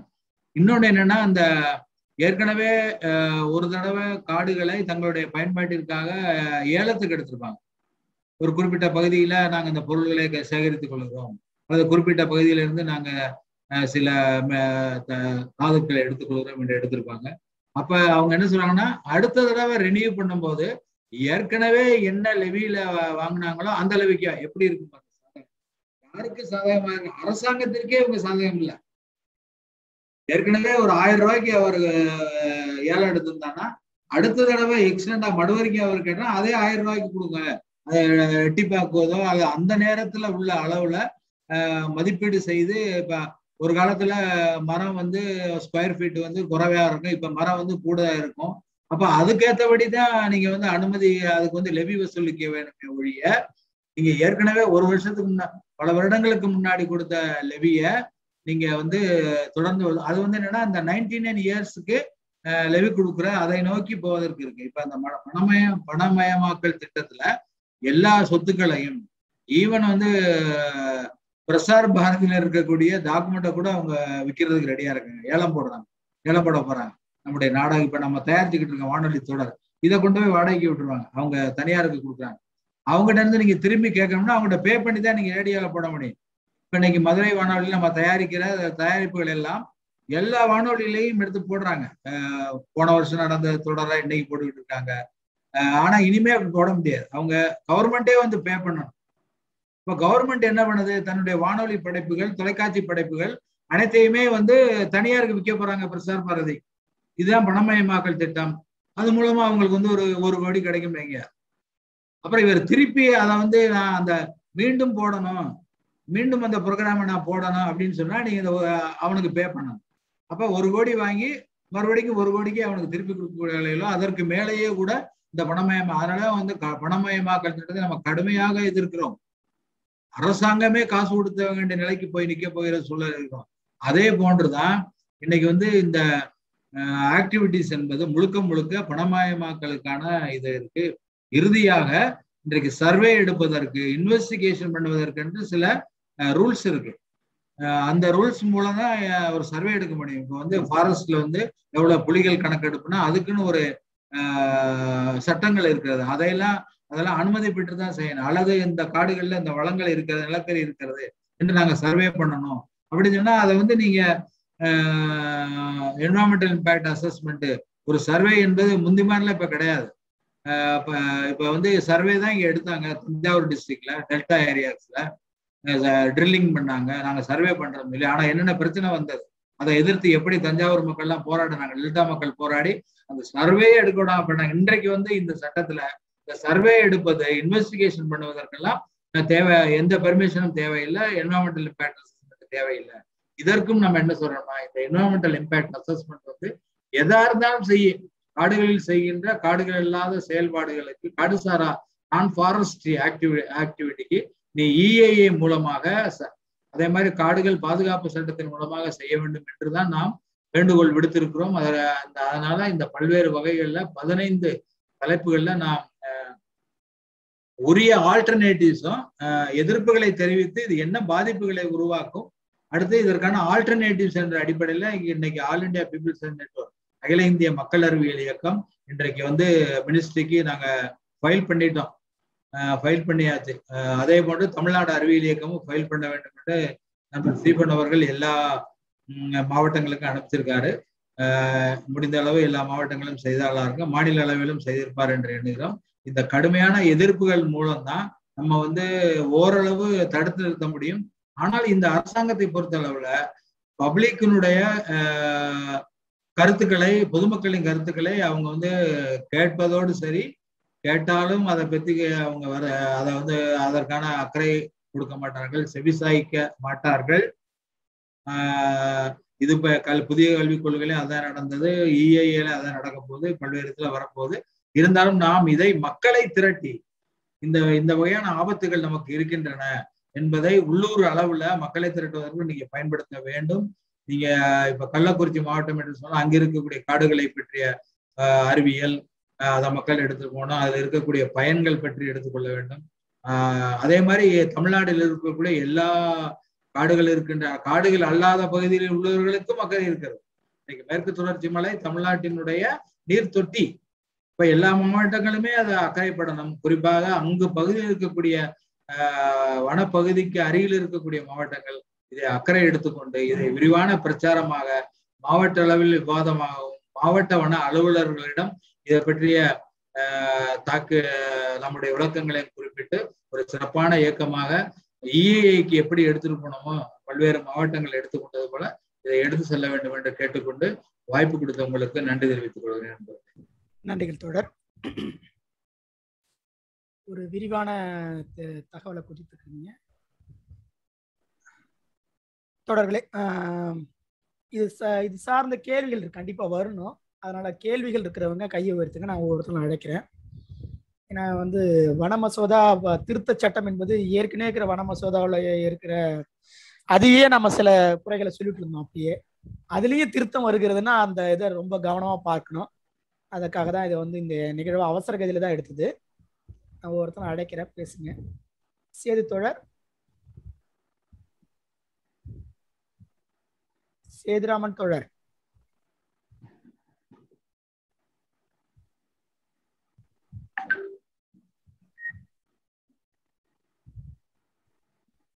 ஸ்டீஃபன் தோழர் மியூட் ஆயிட்டாங்க. வரல.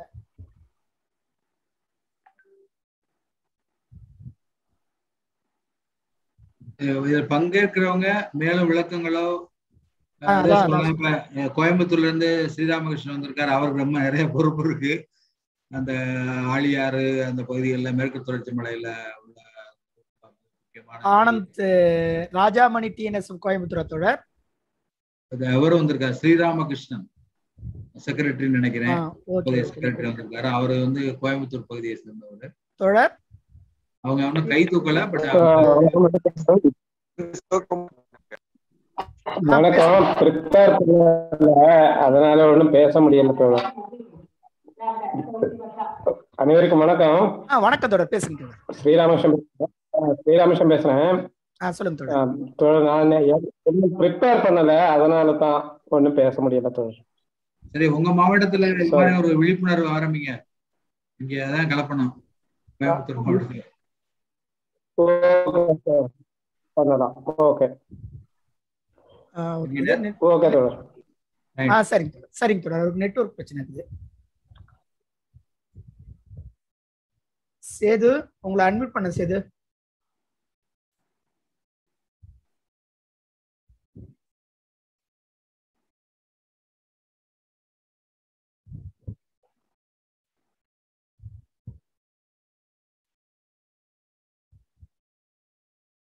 தங்கராஜ் தோழர்.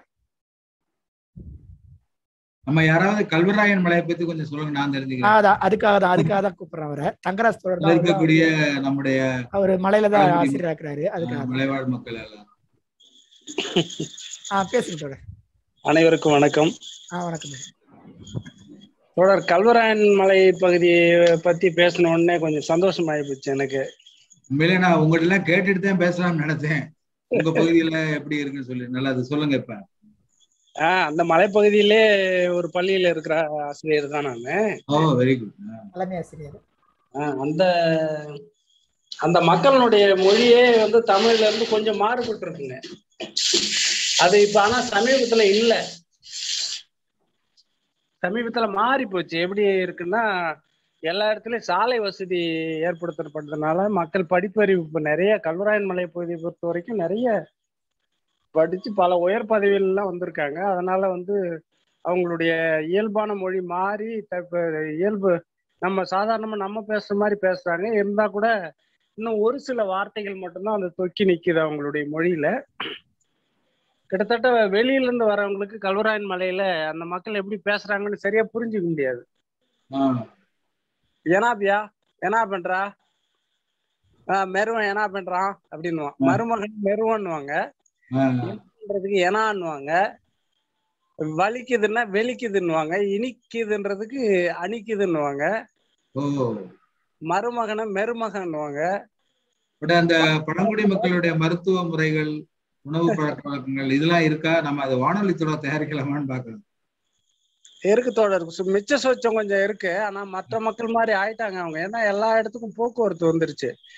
அப்ப கல்லூராயன் மலையில வந்து ஒரு இருபது முப்பது கிலோமீட்டர் வரைக்கும் நடந்துதான் மக்கள் கள்ளக்குறிச்சி சங்கராபுரம் இந்த ரெண்டு ஊர்களுக்கு வந்துதான் பொருட்களை வாங்கிட்டு போவாங்க. ஒரு ஆல்ரவுண்டு சேராப்பட்டு வழியா வெள்ளிமலை வழியாகவும் அந்த மலையை சுத்தி ஒரு ரோடு வந்துருச்சு. அந்த ஆயிரத்தி தொள்ளாயிரத்தி எழுபத்தி எட்டுல அந்த ஜமீன் ஒழிப்பு வந்தப்போ அரசாங்கம் அப்பதான் முதன் முதலா கல்வராயன் மலையை எடுத்துக்கிறாங்க. அது வரைக்கும் இது ஒரு ஜமீன்தாருடைய கட்டுப்பாட்டுல இரண்டு ஜமீன்தார். அரிய கவுண்ட ஜாகிர்னு சொல்லுவாங்க. அந்த பக்கம் இன்னொரு ஜாகிர் பேர் ஞாபகம் இல்லை. இந்த ஜாகிர்தார்களினுடைய ஆட்சியில் இருந்த பகுதி அதன் பிறகுதான் மின்சாரமே வந்தது. எண்பத்தி ஒண்ணுல தான் எங்களுக்கு கம்பமே நட்டாங்க. மின்சார நட்டு கம்பம் ஒரு இடதுசாரி தலைவருடைய போராட்டம் சொல்லுவாங்க தொடர். ஏதோ ஒரு போராட்டம் வந்து சமீபத்துல சொன்ன மாதிரி இருக்குது ஞாபகம். இல்ல இந்திரா காந்தி மிசா சட்டம் கொண்டு வந்த பிறகுதான் இந்த ஜமீன்லாம் எடுத்துட்டாங்க. அதுக்கப்புறம் தான் நிலம் சர்வே பண்ணாங்க. அரசு துறைகள் உள்ள வந்தது. அதுக்கு முன்ன ஒரு சில பள்ளிகள் மட்டும்தான் இருந்ததே ஒழிய வேற எதுவுமே இல்லை. அது கூட ஒரு அஞ்சு பள்ளிகள் இருந்தது. இந்த கல்ராயன் மலைப்பகுதியில ஒரு ஐந்து பள்ளிகள் இருந்தது. கிறிஸ்டின் வந்து ஆரம்ப காலத்துல இருந்து ஆங்கிலேயர் காலத்துல இருந்து அவங்க ஒரு சில இடங்கள்ல பள்ளிகள் வச்சிருந்தாங்க. அது சாலை போக்குவரத்து வசதி வந்து வந்தது வந்து அந்த எண்பத்தி ஒண்ணுக்கு பிறகுதான். அரசாங்கம் கையகப்படுத்தின பிறகுதான் எல்லா ஊருக்கான வசதியெல்லாம் செஞ்சு கொடுத்தாங்க. அப்போ வந்து இல்ல அது கல்ராயன் மலை பத்தி சொன்னா நிறைய விஷயம் இருக்கு. அது எப்படி சொல்றதுன்னு தெரியல. ஃபாரஸ்ட் ஆக்ட் அதுல அமெண்ட்மெண்ட்ல உங்களுக்கு பாதிப்புகள் வருமா? இந்த நான் அப்படிங்கறதா இப்ப அத வந்து நீங்க சொன்னீங்க ஃபாரஸ்ட்.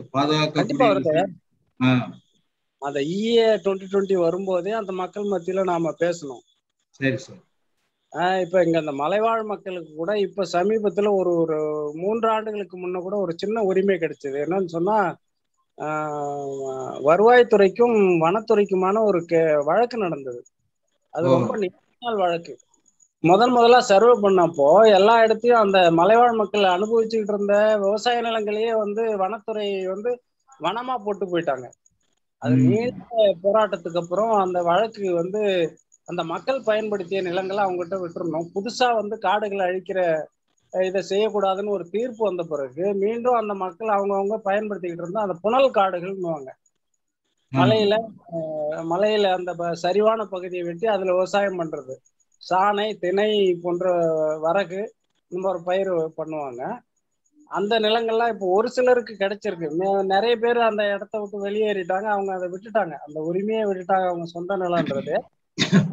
கொஞ்சம் விழித்து கொண்டிருந்தவர்கள் அவங்க ஏற்கனவே பயன்படுத்திக்கிட்டு இருந்தா அந்த நிலத்தை மீட்டும் அந்த சட்டம் தீர்ப்பு வந்த பிறகு எடுத்துக்கிட்டாங்க. அந்த வகையில இப்ப பொருளாதார ரீதியா ஓரளவுக்கு கொஞ்சம் பேர் மேம்பட்டு இருக்கிறாங்களே ஒழிய மின்சார வசதி மோட்டார் வசதி எல்லாம் இப்போ வந்துருக்கிறதுனால எங்கெங்க தண்ணி வசதி இருக்கோ அவங்கெல்லாம் கொஞ்சம் கீழ்ப்பகுதியில் இருக்கிற மக்கள் மாதிரி விவசாயம் பண்ண ஆரம்பிச்சிட்டாங்க நல்லா இருக்கிறாங்க. ஆனால் பெரும்பகுதியான அந்த மலையில கால்நடைகள் வளர்ப்பு அதை சார்ந்து வாழ்ந்த மக்கள் இன்னமும் வறுமையில இருக்காங்க. சொந்த நிலம் இல்லாத மக்கள் ஏராளமா இருக்கிறாங்க. அப்ப அது வந்து அந்த கல்வராயன் மலையில் இருக்கக்கூடிய மரங்களை வெட்டி விறகுகளாகவும் ம- மர ஜாமான்களாகவும் விற்று பிழைத்தவர்கள் கூட பல பேர் இருந்திருக்கிறாங்க அப்போ. அப்ப இந்த வனத்துறை சேட் பாக்ஸ்ல ஆனந்த் செல்வகுமார் செல்வகுமார் ஒரு தகவல் போட்டிருக்காரு அவர் கூப்பிடுறாங்க கல்வராயன் மலையில ஆக்கிரமிப்பு செய்யப்பட இருக்கிறத இத பத்தி ஏதாவது உங்களுக்கு தகவல்கள் சொல்ல முடியும்? கல்வராயன் மலை பு- புரியல தோழர். ஆக்கிரமிப்பு ஆக்கிரமிப்புன்னு சொன்னா வெளியாளுங்க உள்ள வந்து நிலம் வாங்கியிருக்காங்க. பல பேர் வாங்கியிருக்கிறாங்க. அது இருக்கு. ஆமா. கொஞ்சம் வசதி படிச்சவங்க கல்லூராயன் மலைப்பகுதியில நிறைய விவசாய நிலங்களை வாங்கியிருக்கிறாங்க. ஆஹ் அது ஒரு பக்கம் இருக்கு.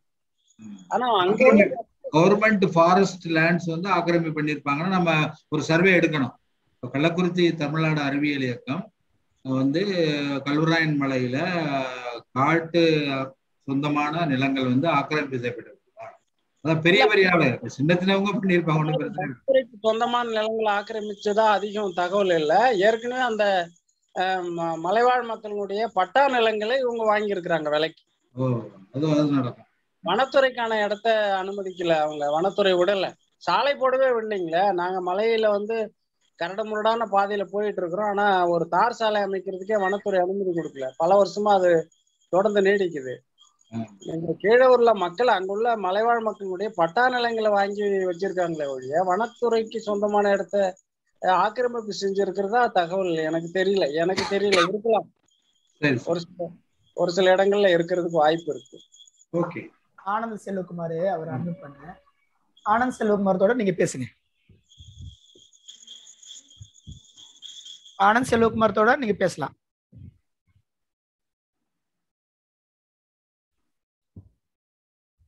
அன்மியூட் தான் பண்ணிருக்கிறேன். சாட் பண்ணாரு ஆனா பேச முடியல ஆ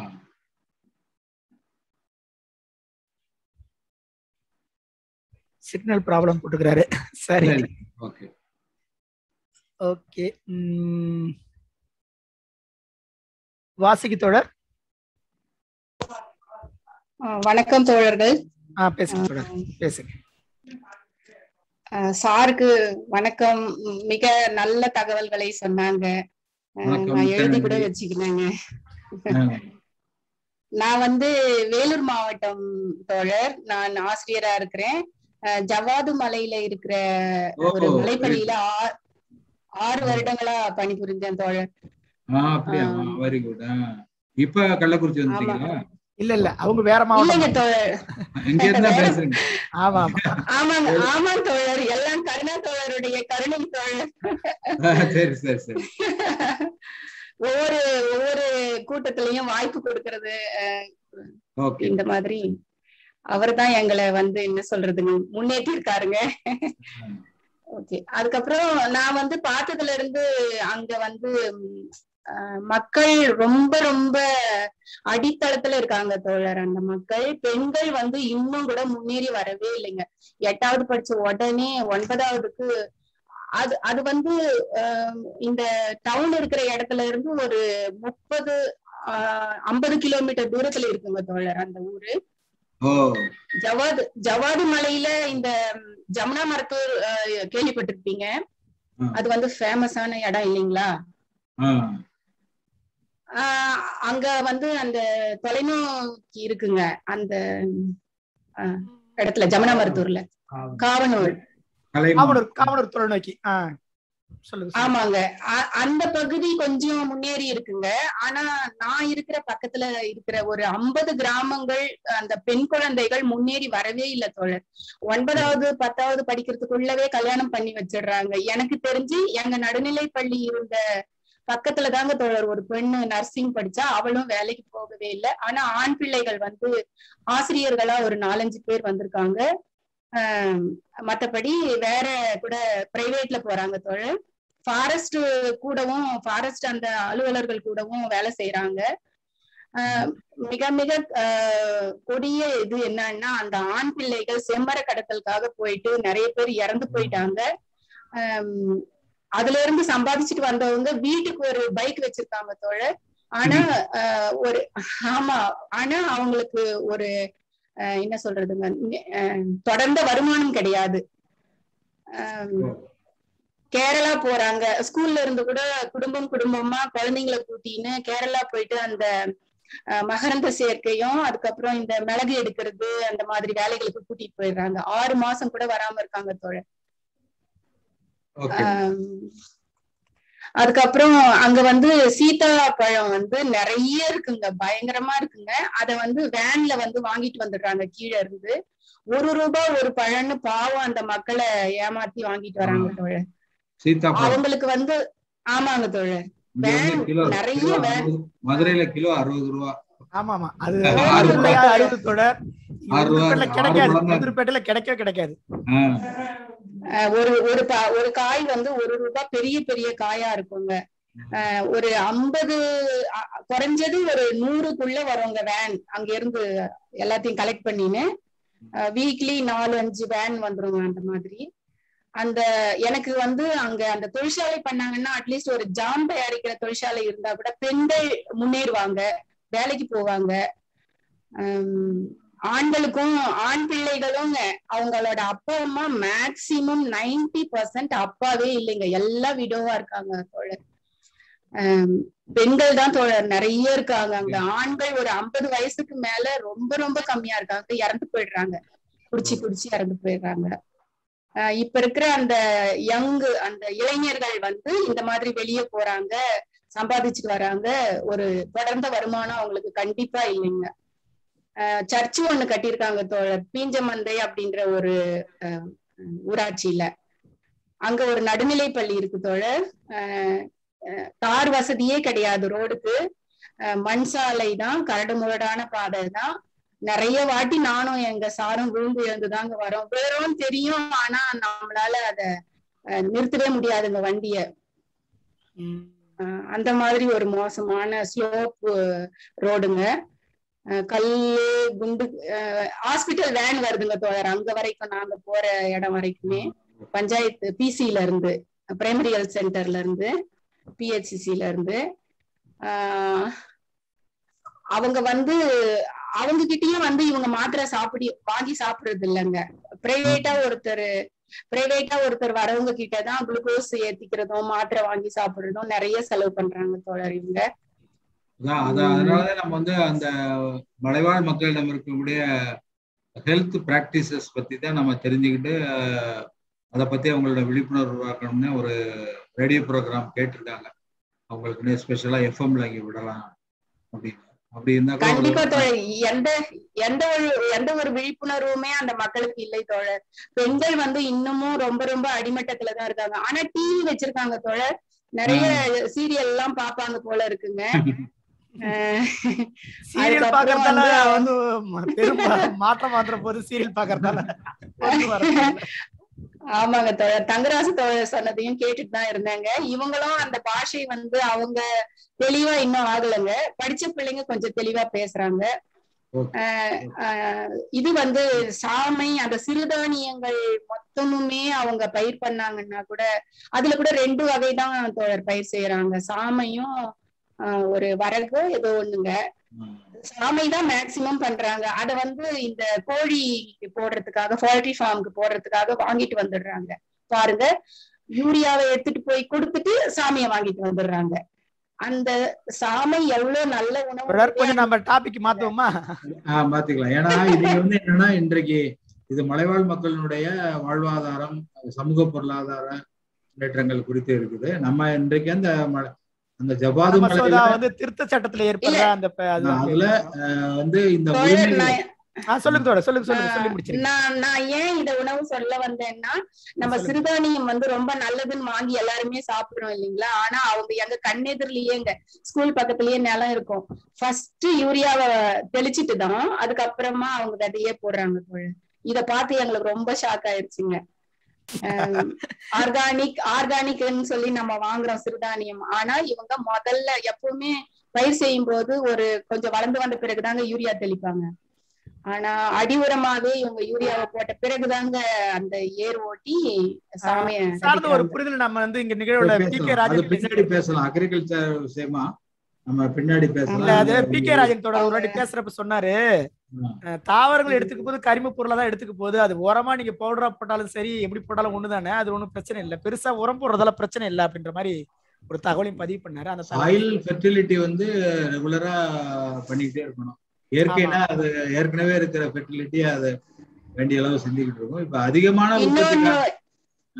இன்னொரு தகவல் வந்து அமிர்தி காடு கூட நீங்க கேள்விப்பட்டிருப்பீங்க. ஆ, அமிர்தி காடு வழியா வந்தா அந்த மலை அந்த மலை வழியா தான் தோழர் அந்த ஜார்தான் கொல்லை அப்படிங்கிற பள்ளிக்கு போகணும் நடுநிலை பள்ளி. அந்த இடம் வந்து நம்ம ஊட்டி கொடைக்கானல் மாதிரி ஒரு நல்ல பயங்கரமான அழகான ப- பள்ள பள்ளம் பெரிய உயரமான மலை இருக்குங்க. இதெல்லாம் ஏன் டூரிஸ்ட் பிளேஸா ஆகக்கூடாதுன்னு கூட யோசிப்போங்க. நாங்க போகும்போதெல்லாம். டூரிஸ்ட் பிளேஸ் ஆகிறதால தான் காடு பாதிக்கப்படுதுன்னு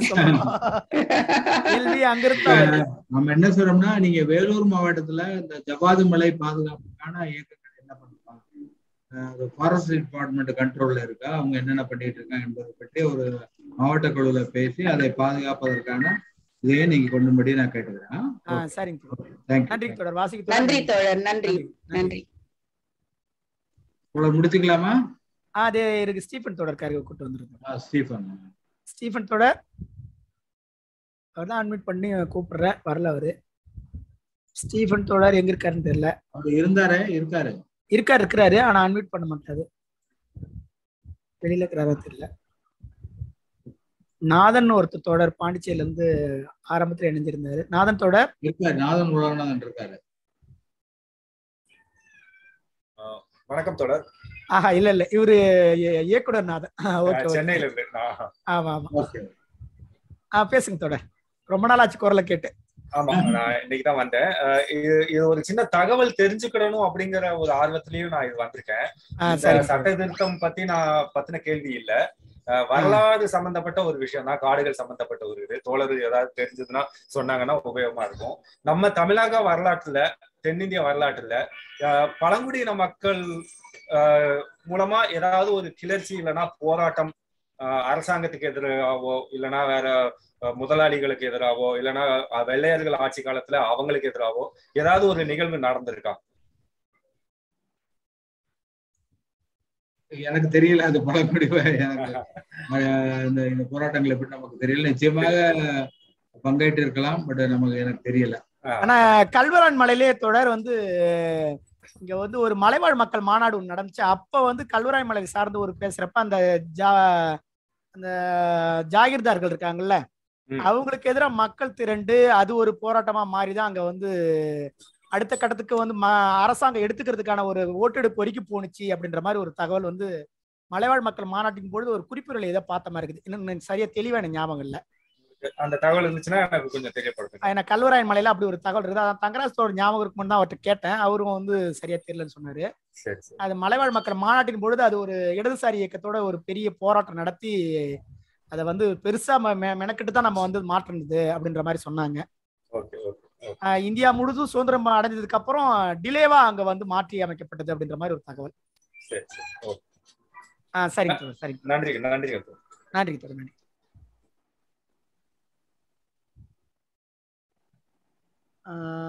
சிவகுமார் தோழர்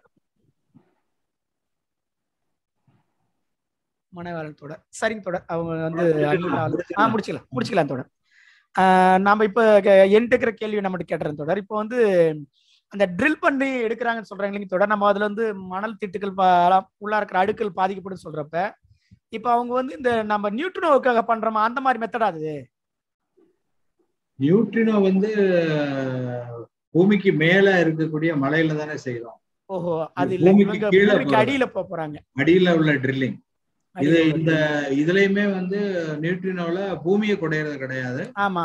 மலைய மட்டும் ஒரு ஃபில்டரா பயன்படுத்திக்கிறான்னு சொல்லுவோம். ஆமா அதை மட்டும் ஒரு பேசேஜ் மாதிரி உடவரை ட்ரெயின் ரூட்டுக்கு போறதுக்கு. குடைஞ்சிருக்காங்கல்ல.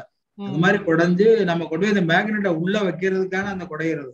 மற்றபடி அந்த நியூட்ரினோ பிடிக்கிறதுக்கான அந்த மேக்னெட்டை உள்ள கொண்டு வைக்கிறதுக்கான பாதை தான் அது. வேற ஒண்ணும் அதுல இல்ல. அப்ப அதுதான். அது வந்து அந்த ராக்ஸ்ல தான் நடக்கும். கீழே. உள்ள சாயிலையோ அல்லது வெளியில உள்ள சாயில இருந்து எந்த இடத்துலயும் இருக்காது. அதுல ஒரு ஓட்ட போடுவோம் அவ்வளவு ஆனா இவங்க பண்ண போறது சாயில் உள்ளாரே அந்த வேலை நடக்கும். சாயில்லையா? காடுகளை சுற்றி ஒரு இப்ப ஒரு அஞ்சு கிலோமீட்டருக்கு அங்கிட்டு காடுகள்ல போனோம்னா காடுகளை வெட்டணும்ல உங்களுக்கு ட்ரில்லிங் பண்ண. கிளியர் பண்ணணும். அதனால அதுக்கு பதிலா காடுகளை கிளியர் பண்ண மாட்டோம். மேலேயே இருக்கும். கீழே போய் நாங்க தோண்டி இப்ப தொழில்நுட்பம் அப்படிலாம் வந்துருச்சு. ஒரு பத்து கிலோமீட்டருக்கு அந்த புறம் ஒரு ஒரு ட்ரில்லிங்க போட்டு ஹரிசாண்டலா ட்ரில்லிங் போயிட்டே இருக்கும். சைடு போர் போடுறாங்கல்ல போர் கண்ணா? ஆமா ஆமா ஆமா ஆமா. இந்த மாதிரி சைடு போர் போடுற மாதிரி போட்டுட்டு போய் எந்த இடத்துல அந்த கார்பன் எரிபொருள் இருக்கிறதோ அந்த இடத்துல மட்டும் கீழே இறக்கிடுவாங்க. அது வந்து. தரையில இருந்து மூணு கிலோமீட்டர் கீழே கூட இருக்கலாம். ஆக்சுவலா எந்த இடத்துல அது இருக்கோ அந்த இடத்துல தான் அதை போடுவாங்க. இப்ப தரையில இருந்து போட்டுக்கிட்டு இருக்கோம். இப்ப மூணு கிலோமீட்டருக்கு கீழே போடுவாங்க. Okay okay. இப்ப இதுதான் நம்ம வந்து சுற்றுச்சூழல் பெரிய பிரச்சனை ஏற்படுத்துன்னு சொல்லிட்டு இருக்கிறது. சரிங்க தோழர் சரிங்க. இப்ப காடுகளுக்குள்ளார இந்த இவங்க வந்து அதாவது இன்னொரு இடத்த ஏதோ ஒரு இடத்த நம்ம பதிவு பண்றப்ப சொன்னோம். தனியார் காடுகள் வ வளர்க்குறத வந்து ஊக்குவிக்கிறதுல தான் அதான் வந்து விவசாய நிலத்தை வந்து அதுக்கு பிரச்சனை இல்லை நம்ம சொல்றோம் அதை. விவசாய நிலங்கள காடு வளர்க்குறப்போ அது பிரச்சனை இல்லை. ஆமா ஆமா இப்ப நீங்க வந்து விழுப்புரத்துல வந்து நீங்க நிறைய சவுக்கு காடுகள்லாம் வச்சிருக்கீங்கல்ல. ஆமா ஆமா ஆனா அது வந்து விஏஓ யார்கிட்டயாவது பெர்மிஷன் வாங்கி நீங்க மரங்களை வந்து அஞ்சு வருஷத்துக்கு முன்னாடி ஆறு வருஷத்துக்கு முன்னாடி வெட்டிட்டு போவாங்க. இப்ப என்ன சொல்றான்னா அத க- அதுக்கு வந்து ரொம்ப தடைகள் இருக்கு.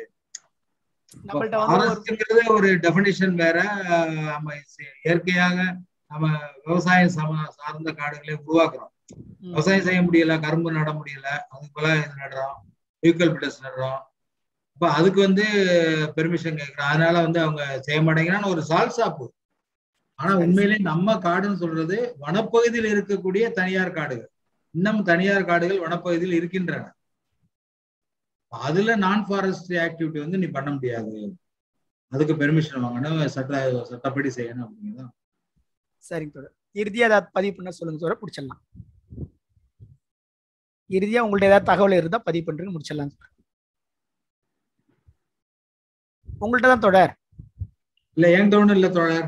ஆ ஓகே தொடர் இந்த வந்து நம்ம வந்து இத எல்லா மாவட்டங்களும் காடுகள் உள்ள மாவட்டங்கள் குறிப்பாக கொஞ்சம் விழிப்புடன் இருந்து அதுக்கான மெட்டீரியல்ஸும் இப்போ அவைலபிளா இருக்கு இப்போ கல்வராயன் மலையை பத்தியோ ஜவ்வாது மலையை பத்தியோ இருக்கு. எது ஃபாரஸ்ட் டிபார்ட்மெண்ட்ல எதுல எப்படி இருக்கிறது அது தற்போதைய நிலை என்ன என்பதை பற்றிய நம்ம அதை பத்தி கணக்கெடுத்து வச்சுக்கிட்டோம்னா அதை அது மூலமா நம்ம காடுகள் பற்றிய விழிப்புணர்வு உருவாக்கணும். நம்ம அதிகமான அளவுல காடுகள் வளர்ப்புக்கான இயக்கங்களை நடத்தணும். அது வந்து ஒரு சாதகமான சூழ்நிலை. இப்ப இந்த கிளைமேட் சேஞ்ச் வர்றதுனால அதை பயன்படுத்தி மாவட்டங்களில் இது ஒரு முக்கியமான அஜெண்டாவாக உள்ளூர் அளவுல தலையிடுவது என்பது காடுகள் நதிகள் இல்லையா? வாட்டர் பாடிஸ் இதுல நம்ம வந்து சுற்றுச்சூழலை பண்ணலாம். அந்த அடிப்படையில கள்ளக்குறிச்சி மாவட்டம் என்பது இந்த கல்வராயன் மலை பகுதியை கொஞ்சம் பாதுகாப்பதற்கான ஏற்பாடுகளை செய்யும். சரிங்க மற்ற. மாவட்டங்கள் அதே போன்றே. ஆஹ் நண்பர்களே தொடர்களே இன்றைய நிகழ்வு வந்து நேற்று சொன்ன அதே வார்த்தை தான். மிக குறுகிய காலத்தில் திட்டமிடப்பட்ட நிகழ்வு தான். ஏன்னா வன ப- மசோதா திருத்த சட்டம் சார்ந்து இன்றைக்கு தான் கடைசி நாள். அதற்கான திருத்தத்தை நம்ம வந்து நம்முடைய கருத்துக்களை சொல்றதுக்காக அக்டோபர் இரண்டாம் தேதி சொல்லி ஒரு ஒரு மாதத்துக்குள்ளாரையே வந்து இந்த தகவலை. அதாவது வந்து வன வார விழாவை வந்து சிறப்பாக கொண்டாடிக்கிட்டு இருக்கிற நேரத்தில் வந்து அதற்கான து- ஒரு துயரத்தை ஏற்படுத்துகிற விதமாக இந்த நிகழ்வு ஆரம்பிச்சதுன்னு சொல்லிட்டு தான் அந்த கட்டுரையை தொடர் புக் டேவில் எழுதியிருந்தார். அதை நான் படித்தேன் அந்த தகவல் இருந்து தான் நம்ம பார்க்குற பொழுது அப்போ இதை நீ பேசணும் நம்ம யோ- நம்ம யூடியூப் தளத்தில் ஃபேஸ்புக் தளத்தில் நிறைய பேர் பார்ப்பீங்க அதை கேட்பீங்க அதை தாண்டி நம்ம பேசுறது என்னன்னா நம்ம சுற்றி இருக்கிற காடு என்பது காடு என்பது அது ஒரு சுற்றுச்சூழல மிகப்பெரிய பா பாதுகாப்பு அரண் அது. அது ஏதோ ஒரு விதத்துல ம மருத்துவ மூலிகளை ஒரு கொண்டு இருக்கிற ஒரு இடமா இருக்கும். நாம சில அதாவது வந்து ஆங்கிலேயர் காலத்துல பிரிட்டிஷார் வந்து ஃபாரஸ்ட்ல வந்து எது இதெல்லாம் விளையணுமோ அதெல்லாம் ஒழிச்சிட்டு புதிய வகை தாவரங்களாக தேயிலைகளை கொண்டு வந்து சேர்த்தது மூலம் பெரிய காட்டை அழிக்கக்கூடிய வேலையை அவங்க செஞ்சாங்க. அப்புறம் ரயில்வே தண்டவாளங்களுக்காக போடுகிற அந்த கட்டைகளை உருவாக்குற மரங்களை அந்த மரங்களை உருவாக்குற பொழுது அழிக்கப்பட்ட மரங்கள் ஏராளம். அந்த மரங்களை நம்பி இருந்த உயிரினங்கள் ஏராளம். அதை நான் சார்ந்திருந்த பறவைகள் ஏராளம் பூச்சினங்கள் ஏராளம். இப்படி ஒரு சுற்றுச்சூழல்ல ஒரு பெரிய சைக்கிளை வந்து உடைக்கிற வே- ஏற்பாடு நடந்துச்சு. அதுலேருந்து மீண்டு வந்த காடுகளை அரசாங்கம் த- இந்திய அரசாங்கம் வந்ததுக்கு அப்புறம் ஏராளமான மாற்றங்கள் ஏற்பட்டு தொடர்ச்சி அதை பாதுகாக்கிற ஏற்பாடுகளை இன்றும் கூட வந்து புலிகள் பாதுகாப்பு இயக்கங்கள் பேரில் இருக்கிற என்ஜிஓக்கள் பல நேரத்தில் வந்து காடுகளில் இருந்து மலைவாழ் மக்களை வெளியேற்றிட்டா புலிகளை பாதுகாத்துற முடியும் அப்படின்னு சொல்கிறப்ப அந்த மலைவாழ் மக்களை சொல்கிற ஒரே கோரிக்கையை சொல்கிற காட்டில் இருக்கிற விலங்குகளும் நாங்களும் சேர்ந்து தான் அங்கே காடு காடுன்றது. எங்களை பிரிச்சுட்டு காடு இல்லை. நாங்களும் அந்த காட்டோட சேர்ந்தவங்க தான் காட்டோட இருக்கிறவங்க தான் எங்களோட சேர்ந்தது தான் அது. விலங்குகளோடு நாங்களும் தான் சேர்ந்து இருக்கிறோம் அப்படித்தான் பேசுறாங்க. அப்ப மலைவாழ் மக்களை வெளியேற்றிட்டு அந்த காட்டை பாதுகாக்க முடியாது. அப்ப அவங்களோட சேர்ந்து தான் பாதுகாக்கணும். ஆனா இவங்க இந்த மசோதாக்களை ஒவ்வொன்றும் கொண்டு வருகிற பொழுது காடை பாதுகாக்கிற பேர்ல அவங்களும் வெளியேற்றுற அந்த வேலையும் ஒரு திருக்கல் வேலைகளையும் இது உள்ளார உள்ளடக்கி இருக்குதுன்னு சொல்லிட்டு தொடர்ச்சியாக க- மலைவாழ் மக்கள் சார்ந்து பேசுறவங்களும் சுற்றுச்சூழல் பேசுறவங்களும் பேசிட்டே இருக்கிறோம். நம்ம இப்ப திருப்பி பேசுறது காடுகளை பாதுகாப்பது என்பது அந்த மக்களை உள்ளடக்கியதுதான். அதோடு சேர்ந்து அறிவியல் இயக்கங்கள் இந்த மாதிரியான ஒரு நிகழ்வு எடுப்பு எடுத்து போவதன் மூலம் அந்த சுற்றுச்சூழல் சார்ந்து இன்னும் ஒரு புரிதல் மேம்படுன்றதுக்காக தான் எடுத்திருந்தோம். அந்த வேலை தோழர் மிக சிறப்பான முறையை கொடுத்திருந்து ஒரு புரிதலை மேம்படுத்தியிருக்கிறார்ன்ற அந்த தகவலை நம்ம மீண்டும் மீண்டும் சொல்ல கடமைப்பட்டிருக்கிறோம். நிகழ்வுல வந்து நமக்காக இன்றைக்கு ஒரு மிகப்பெரிய நேரத்தை கொடுத்து அதை சிறப்பான உரையை கொடுத்திருக்காரு. அதை அந்த வகையில தோழர் அவர்களுக்கு ராஜமாணிக்க தோழர் அவர்களுக்கு மிகுந்த நன்றிகளை கூட கடமைப்பட்டிருக்கிறோம். நிகழ்ச்சியில் இணைந்து ஒரு கருத்துரை பகிர்வுகள் மூலம் தங்களுடைய தகவலை பகிர்ந்தவங்களுக்கும் ஃபேஸ்புக்லையும் யூடியூப் தளத்திலும் காண இருக்கிற தோழர்களுக்கும் ஒரு விமர்சன பூர்வமாக அடுத்தடுத்து நீங்க இந்த விமர்சனங்களை பகிரும் பொழுது அது இன்னும் மேம்படுன்ற அந்த வகையில உங்களுடைய அனைவருக்கும் நன்றிகள் கூறி விடைபெறுவது தமிழ்நாடு இருக்கு கள்ளக்குறிச்சி மாவட்டம். நன்றிகள் தோழர்களே. நன்றி. நன்றி. அனைவருக்கும் நன்றி நன்றி.